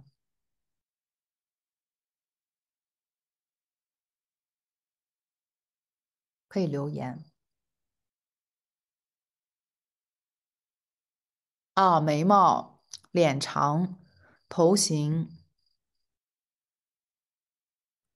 大家很厉害。是的，就是有几个特点吧。第一个就是脸明显的被拉长了。就它都非常消瘦的这种脸型，这种大家看看，它其实就是一种优雅的国际哥特式，就是我们前面讲的，包括林宝兄弟画那种国际哥特式，他们在这个里边的呈现，就是在肖像画当中呈现，这些女子的脸都被拉得非常的瘦长，这样看起来就很高贵。第二个是她的发际线，大家看没，就好像有点秃顶一样，我们现在看起来，其实这个秃顶不是她真秃了，是画家故意画成这样的。她如果按现在的审美，姑娘被画成这样，肯定就要去。就是不给钱了，但他当时不是，他这种就是一种很高雅的这种头颅，优雅的一种弧度。然后他们头上戴的这个就是那个当时很流行的这种啊汉宁帽，然后并且用嗯面纱去包裹着，这个面纱两边都低低的垂在肩上。第三个想说的是肤色。就是这种面纱的透明，跟他们的肤色慢慢的融为一体，就一同为了这种和谐感，就把人的肤色就变得更加白、更加透、更加亮，就这些都是发生了一些变形所在。嗯，Raja 的这些作品呢，嗯，表现了就是弗兰德斯的这些肖像画特有的这种真实和质朴又在，但是呢，他并没有像凡艾克那样专注于每一个细节。嗯，他用了一种简简洁的或者抽象这种方式来表达这些哥特式的高雅的这种内涵。呃，这种我觉得女子会比男子体现的更明显一些，高高的发际线，消瘦的肩膀，纤细的腰肢，使他们看上去既高挑又柔弱。但是呢，他的眼神，他的神态，却传达出了内心一种坚定的、更加祥和的这样的一些信仰。所以就是 Roger 他在这种抽象当中去挖掘出的人的一种美，让大家看到的在另外一个方向上的一种可能性的演变。这是 Petrus 他画的一些肖像画，可以看出来，其实他也有很强的这种特点，就是共性的特点在。然后我这个想让大家看的是，这是苍蝇，他其实在做了一个假，他把这个苍蝇好像看起来像在这个画框上一样，所以就是一个小小的把戏。啊，这个这幅画也很有意思。这幅画我们也能看出来，就是男女主实际上就很像在致敬杨凡艾克当时画的这幅画。然后这里边又有一幅这个凸透镜啊，这个凸透镜的相似性，它其实是把外边的街景都给呈现出来了。然后呢，很多人就会去想，这个这到底是一个圣人还是一个真实的人呢？就有讨论。那后来比较倾向的结果就是，他就是一个这个。金匠，因为他这个这些桌上的这些东西啊，称的这些东西，表明了他的行业就是这样一个行业协会做的这个委托。关于他到底是一个真实的人还是一个圣人这件事儿呢，很有意思。这幅画藏在美国，收藏在美国。当时收藏的时候，这个人的形象是左边这个小图，大家有没有能看到？就有一些隐隐的一层光环，可以看到吧？当时收藏的时候还是这个样子，后来呢，当他们讨论完，觉得这是一个真实的人，而不是一个圣人的时候，他就是那个行业协会的一个人，就把这个光环抹掉，给他回复到了这幅画原来本质的样子。还有这样一个背后的故事在，这是 Patrice 画的啊，这个就是 Mamlin。刚才那个 Roger 的话，他是一个 icon，Mamlin 的话，我觉得就是一个 family。然后大家可以看到，这个是那个 Roger 画的那个女人，这个就是 Mamlin 画的这个女人。啊，它是比它时代更靠后的。你有没有看到，就是这个面纱，我觉得明显有一个质的飞跃，就是它这个面纱的这种质感和它的这种透明感，就会比当时那个要要进步了很多。我不知道是这个技术的，是到底是这个面纱布料质量的进步，还是画家画法质量的进步，还是颜料什么的变化？但就这个，我觉得就一下子美了好多，让它也更加的神圣。同时，它外边这些已经用很多自然的这个背景来做这个肖像画的一个背景。然后第二个想让大家看，但不是一个人啊，是另外一个人，就是我我就是放大想让大家看一下他的手。刚才还记得那个 Patrice 用的那个苍蝇的小把戏吧？这个地方就手用的同样的把戏，他让他的手浮在了画框上，就好像你看到这个人，他要出来，他要从这个二维的空间里要出来，来走进你。或者说他要跟你交流这样的一些特点，所以是非常的真实的一种这种错位的处理方式啊，这个也很有意思。对，右边的这个面就变成了一张还是浆过的纸。是的，这个是 Madeline Family 里边的男子的形象。这个地方这幅画大家应该知道吧？有人知道这幅画是谁画的吗？哦，我好像自己写了，是波提，这个是波提切利画的画。他拿的这个徽章钱币，这个是美第奇家族的，因为波提切利跟美第奇的关系非常好，他跟洛伦佐的关系很好，所以说他就画了这样的一幅画。但是很有意思的是，这个是 Madeline 画的哦，大家跟波提切利的比一下。看一下他们就是北方跟南方，他们这种艺术相互的影响，这种背景的处理，这种人的处理，而且这个人很有意思，他是一个来自威尼斯的外交家，所以我们就可以想他在嗯北方，在呃弗兰德斯 m a m l i n 给他画完这幅画之后呢，他可能把这幅画带回了意大利去，所以又在意大利那边的画家呢又发生了一些相互的。嗯，碰撞啊，相互的这种启发呀，波提切利呢，最后就画出了这样一幅画。他们是出自北方和南方的，所以那个时候其实让你很难说清楚是谁来影响了谁。OK，前面三个绘画部分我们看完之后，就看一下这个财富展示的部分。我刚才也提到了，就是勃艮第它还是一个宫廷文化，所以它当时是一种很强的这种展示型的文化。它的财富、它的政治影响力、它的经济影响力是要靠视觉手段来维护和强化的。其实很像各种内外的君主吧，像外国我们说路易十四建凡尔赛。然后像中国就更不用说了，那些非常辉煌的这些皇帝的一套的用用具啊，它都是来彰显和维护权力使用的，所以当时就会有这些东西，金银呐、盔甲啊等等这些。呃，我们看到右边这个，就是呃，它因为这些艺术品，它其实看中的两块，第一块就是材料，第二块就是技艺，你必须都都拥有，你才能够做成这样的东西。所以，当我们说他没有艺术品味的时候，我觉得可能只是当代人的特点吧。那个时候，实际上这些会比绘画更重要。我们后面会详细的来看这个神龛呢，它就是来自它的，我们对它的了解其实是来自一份财产清单。就是巴伐利亚的伊莎贝拉送给她丈夫法王查理六世的一个礼物。然后皇家呢，他们就是这些有钱人，他们会做自己的清单的家族财产清单，用于继承啊或办税啊等等方式都会用。像美第奇家族，他们也会有自己的清单，详细记载他们的艺术品。这个当年就是一四零四年，皇家清单是这样来描绘这个神龛，大家可以看着听一听。圣母怀抱婴儿，坐在格架花园里。她的塑像是白瓷釉，婴儿是红瓷釉。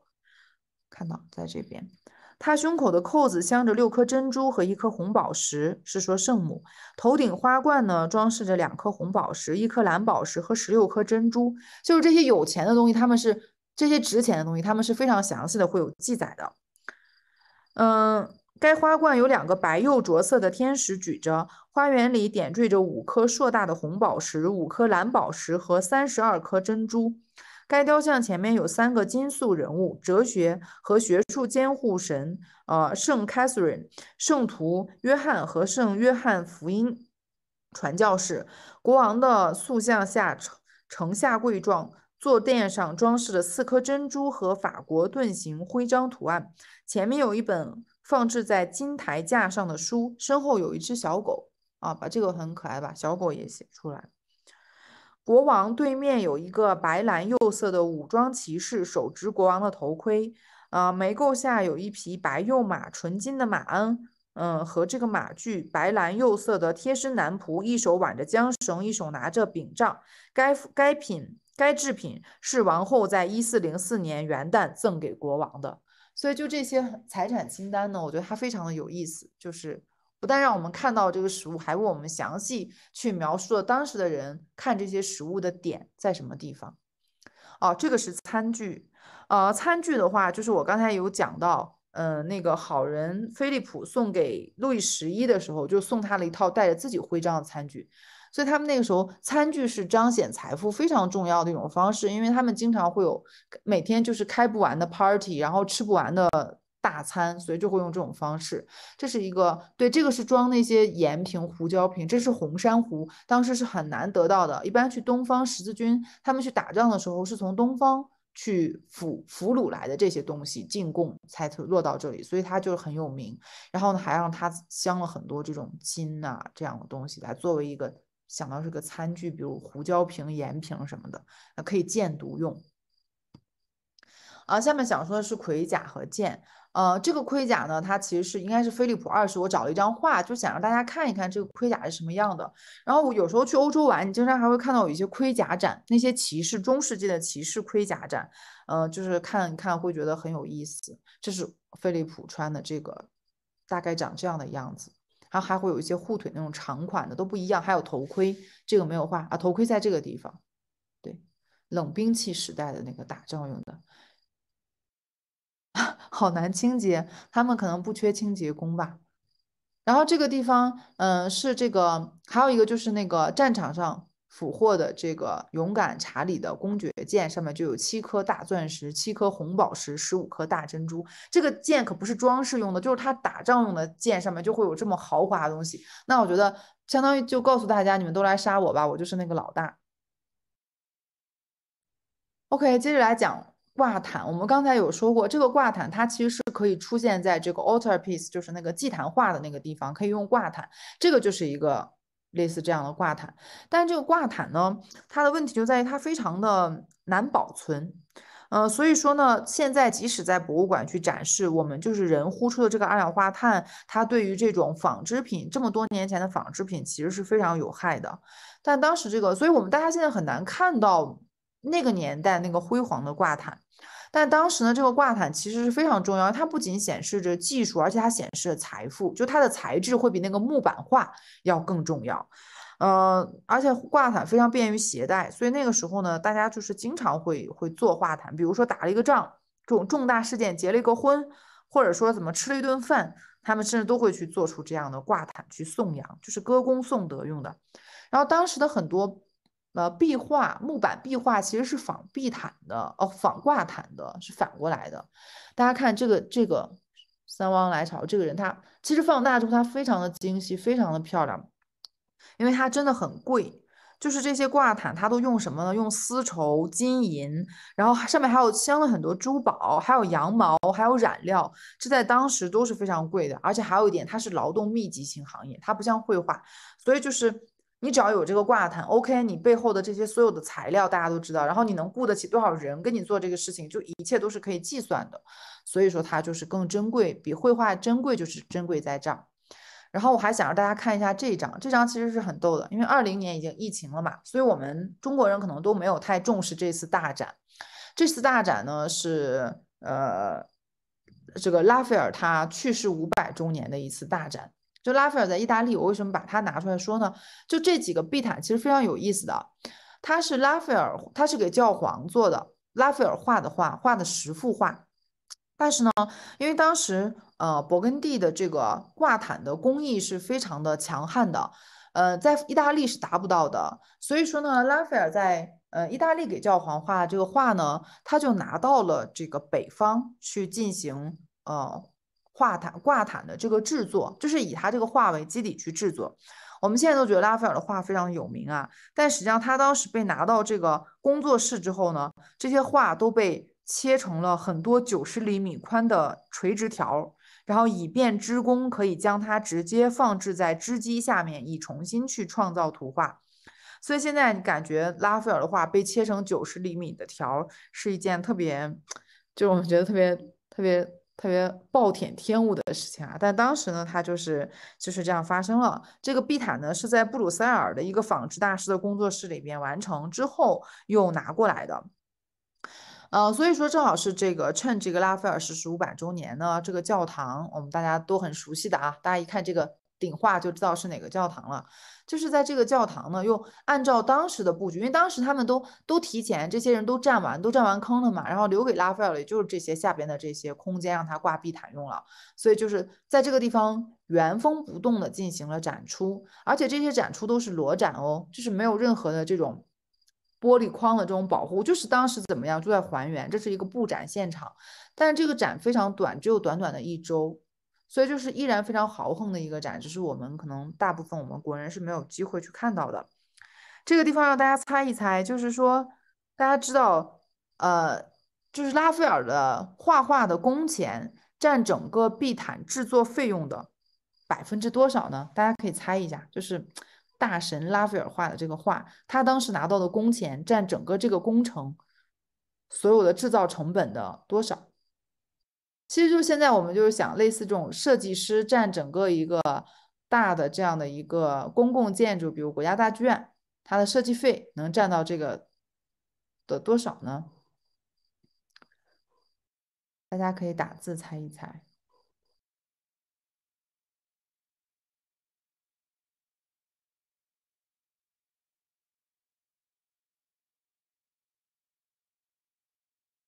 有人要猜一猜吗？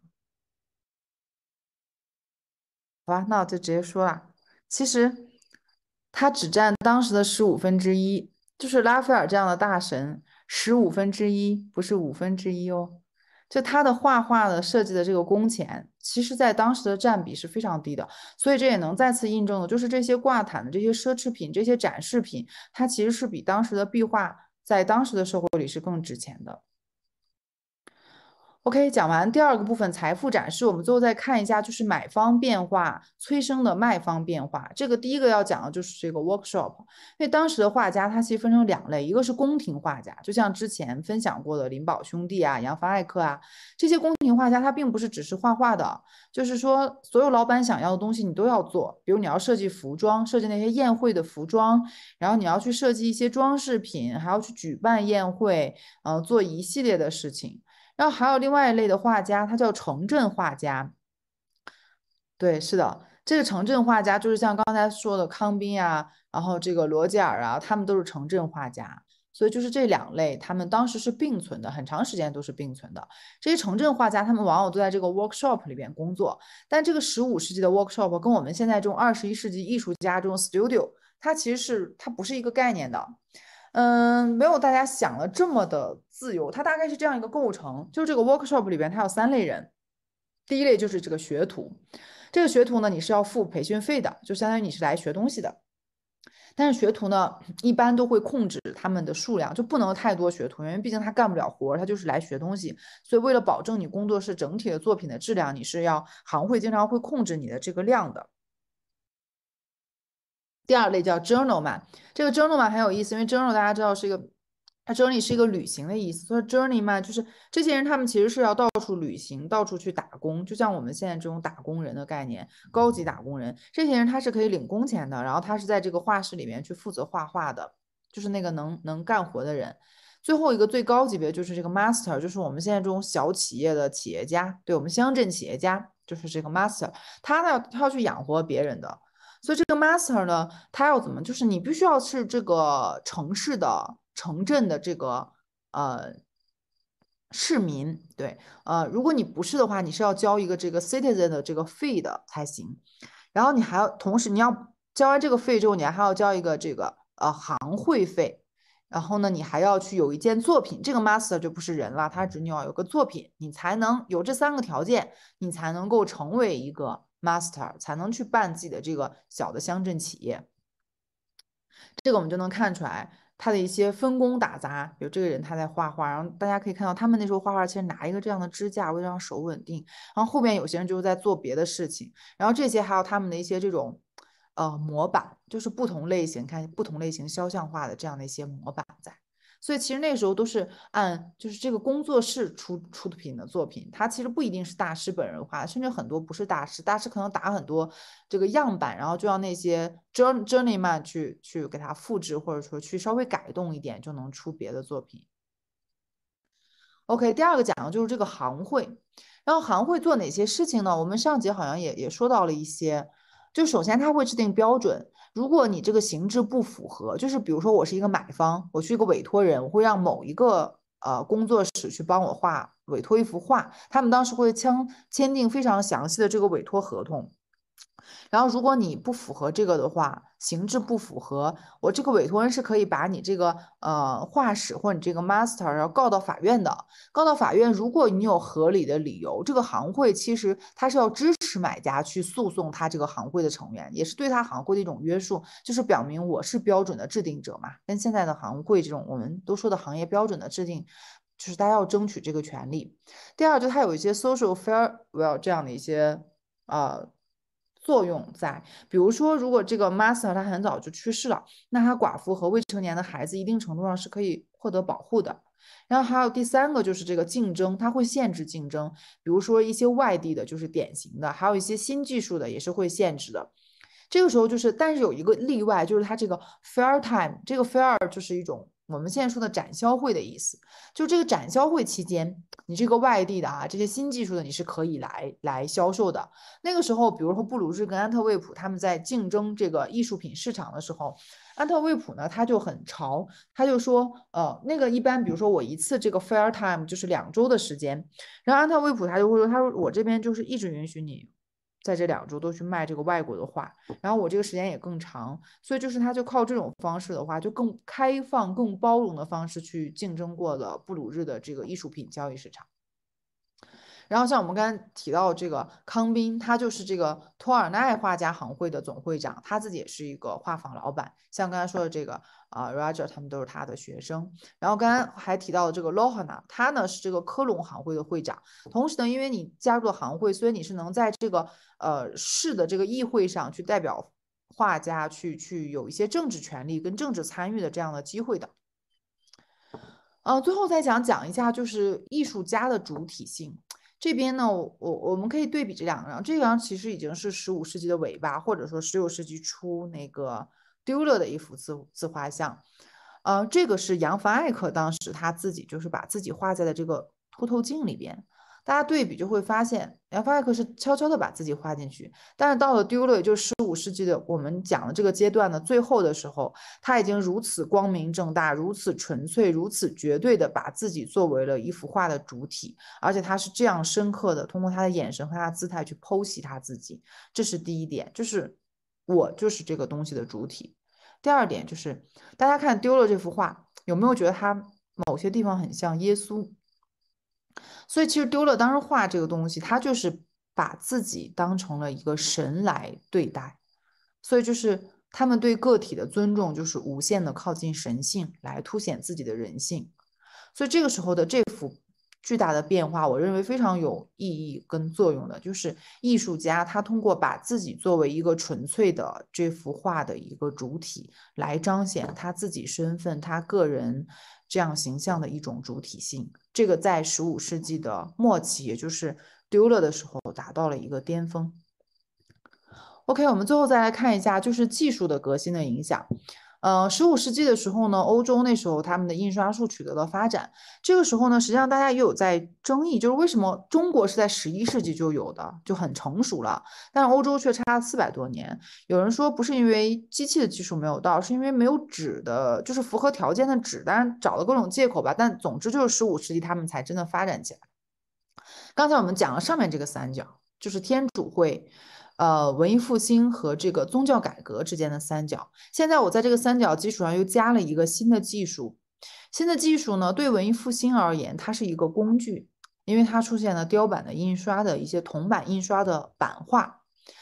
同时呢，新的技术对宗教改革而说，它就是一个武器，因为只有有了这些东西，大家才能够去实现宗教改革。那个就是我推倒了一个人，但是我，呃。提出了一本书，就是推倒那个人，就是呃教堂里边的那个形象。拿出了这本书，就是这个 Bible。他之所以可以这样做，背后一定要有这个印刷术支持的。如果没有，他怎么做到让人手一本圣经呢？而且那个时候还有跟这个民众的这个发文化的水平的提高也是紧密相连的。因为书籍在过去一直是教会和贵族的垄断品。大家可以看这个画。这就是一个典型的当时王族用的祈祷书。我们如果看一些那个时候的一些影视作品的时候，很容易看到一个昏暗的光线里，一个人就跪在自己家的那个，因为家里都很有钱嘛，那些王后啊，或者那些贵族的妇人们、美妇人们跪在那些地方，就拿这个东西在在这个默默的祈祷。比如当他们婚姻受到了一些威胁的时候，他们的老公出去打仗回不来的时候，等等要生孩子什么之前，他们就会跪在这个地方祈祷。他们拿的就是很漂亮的祈祷书。当时那个亨利八世应该还通过这个向那个他的第二任老婆波林，还就是在祈祷书上传情，他就会在这儿给他写情书。在他老就是他追求的女孩子的祈祷书上写情书，然后那个女孩看见之后也会同样在祈祷书上的空隙里写情书回应他，然后他们这个情书往往写写在跟这个内容紧密相连的地方，所以就是很有意思。当时只有贵族才可以用这样的一些手抄本的这些精美的东西，但是当印刷术出来之后，安东尼的诱惑就会出现了这样的一些民众能够用的，所以正是因为有了新技术支持的书，宗教改革才成为可能。而这个宗教改革成为可能的前提是文艺复兴把这个技术以更温和的方式，在这个世界进行了传播，为它去创造了土壤，然后它才能够像勇士一样，就是去斗天与天斗与地斗，才能去。发展成后面，所以说这三者他们在技术的加持上有一个非常微妙的这样的一个三角的关系。这个里边我就看着看着我就想到了中国，因为一般一个新技术的发展，它其实是会对思想领域、对艺术领域能产生几百年更长期的一些变革和影响。所以印刷术如果在欧洲能够对文艺复兴和宗教改革产生如此巨大的一个影响，我就在思考它在中国产生了什么呢？然后这个时候我第一反应就是想到了。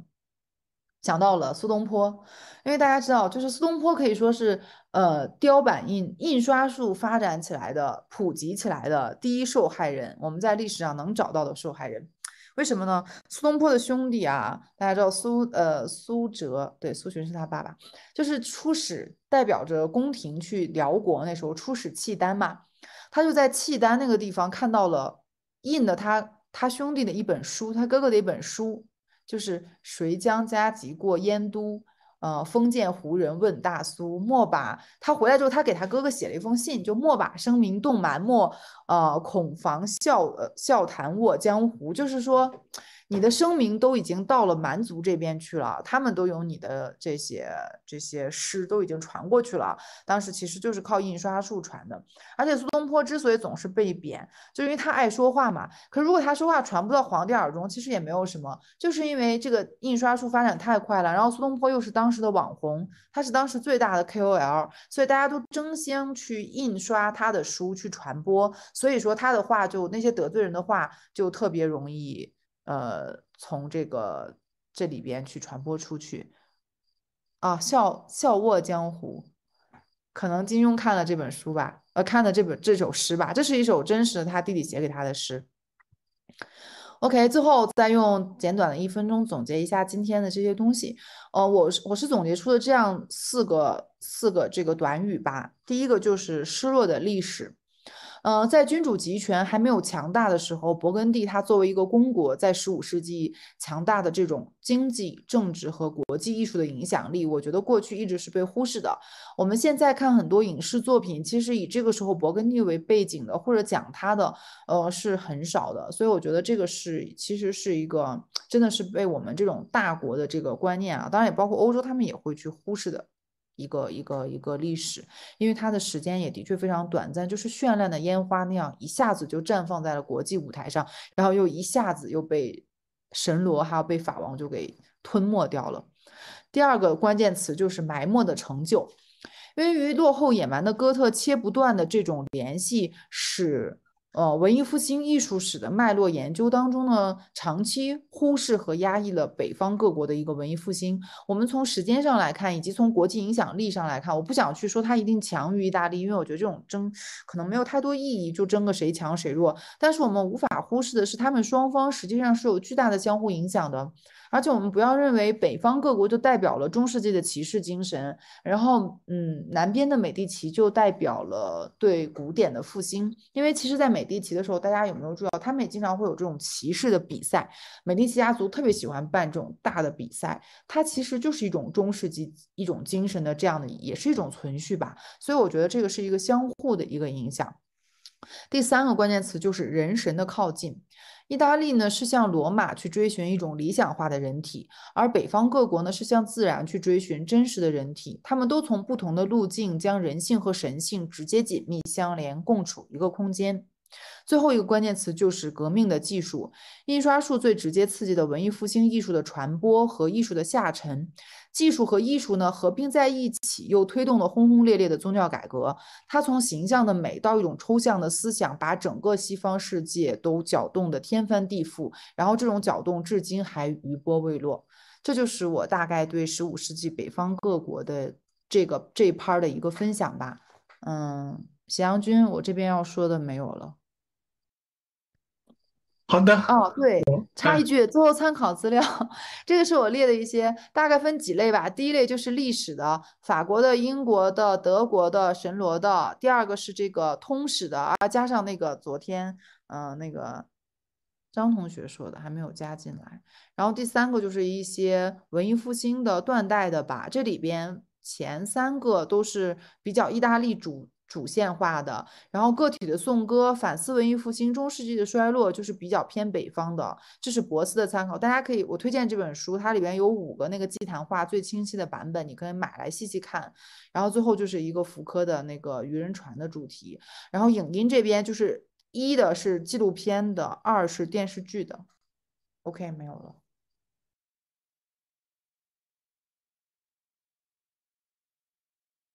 好。哇，感谢郭老师的精彩分享！大家鼓掌，鼓掌。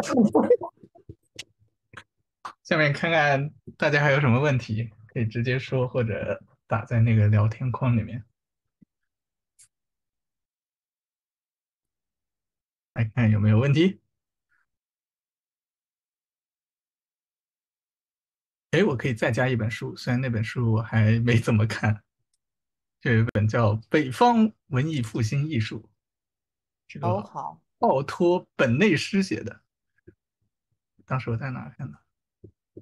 我可以发群里。发一下。嗯。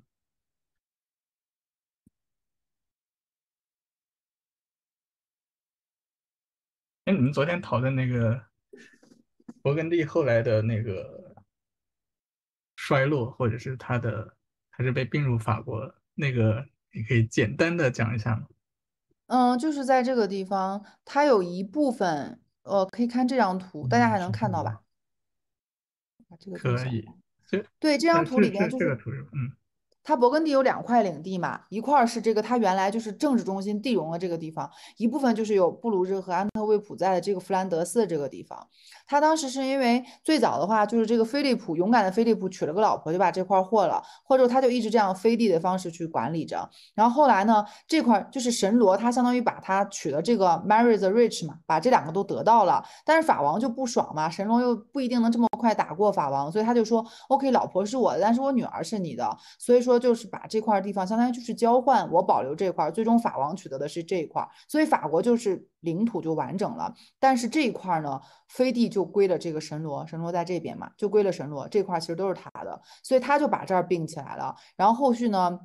这个 Maximilian 他的儿子菲利普，然后他的孙子这个查理五世，啊，都是取得了这块地。这个时候就直接到那个十七世纪初了嘛。十七世纪的时候，那个奥兰治他们 Orange 他们就是要这个地方独立嘛，所以独立完就分开了。因为这边呃弗兰德斯他其实是比利时，就是。这部分，然后这边北部这边才是那个北荷兰嘛，所以就是整个这块弗兰德斯就分成了两个部分了。然后南边这边就是安特卫普等等这些，就是那个天主教的势力。然后再往北的话，就是那个 Orange 他们那个亲王的那些势力嘛。所以到十七世纪的时候，那个市民共治的时候，其实就在这边。所以我们往后看，那个鲁本斯他就是在在这边，然后再往后边的话，就是像那个伦勃朗啊，他们就是跑到这边去了。这也造成了比利时跟荷兰之间这种长期的呃斗争，包括比利时它的两种语言，就是也是有这样的一些背景在。行，那如果大家没问题的话，今天分享就到这了，就再次感谢郭老师。好，谢谢大家，我们洗洗睡吧。好的，好的，好的，好，那今天就到这，感谢大家参加，拜拜。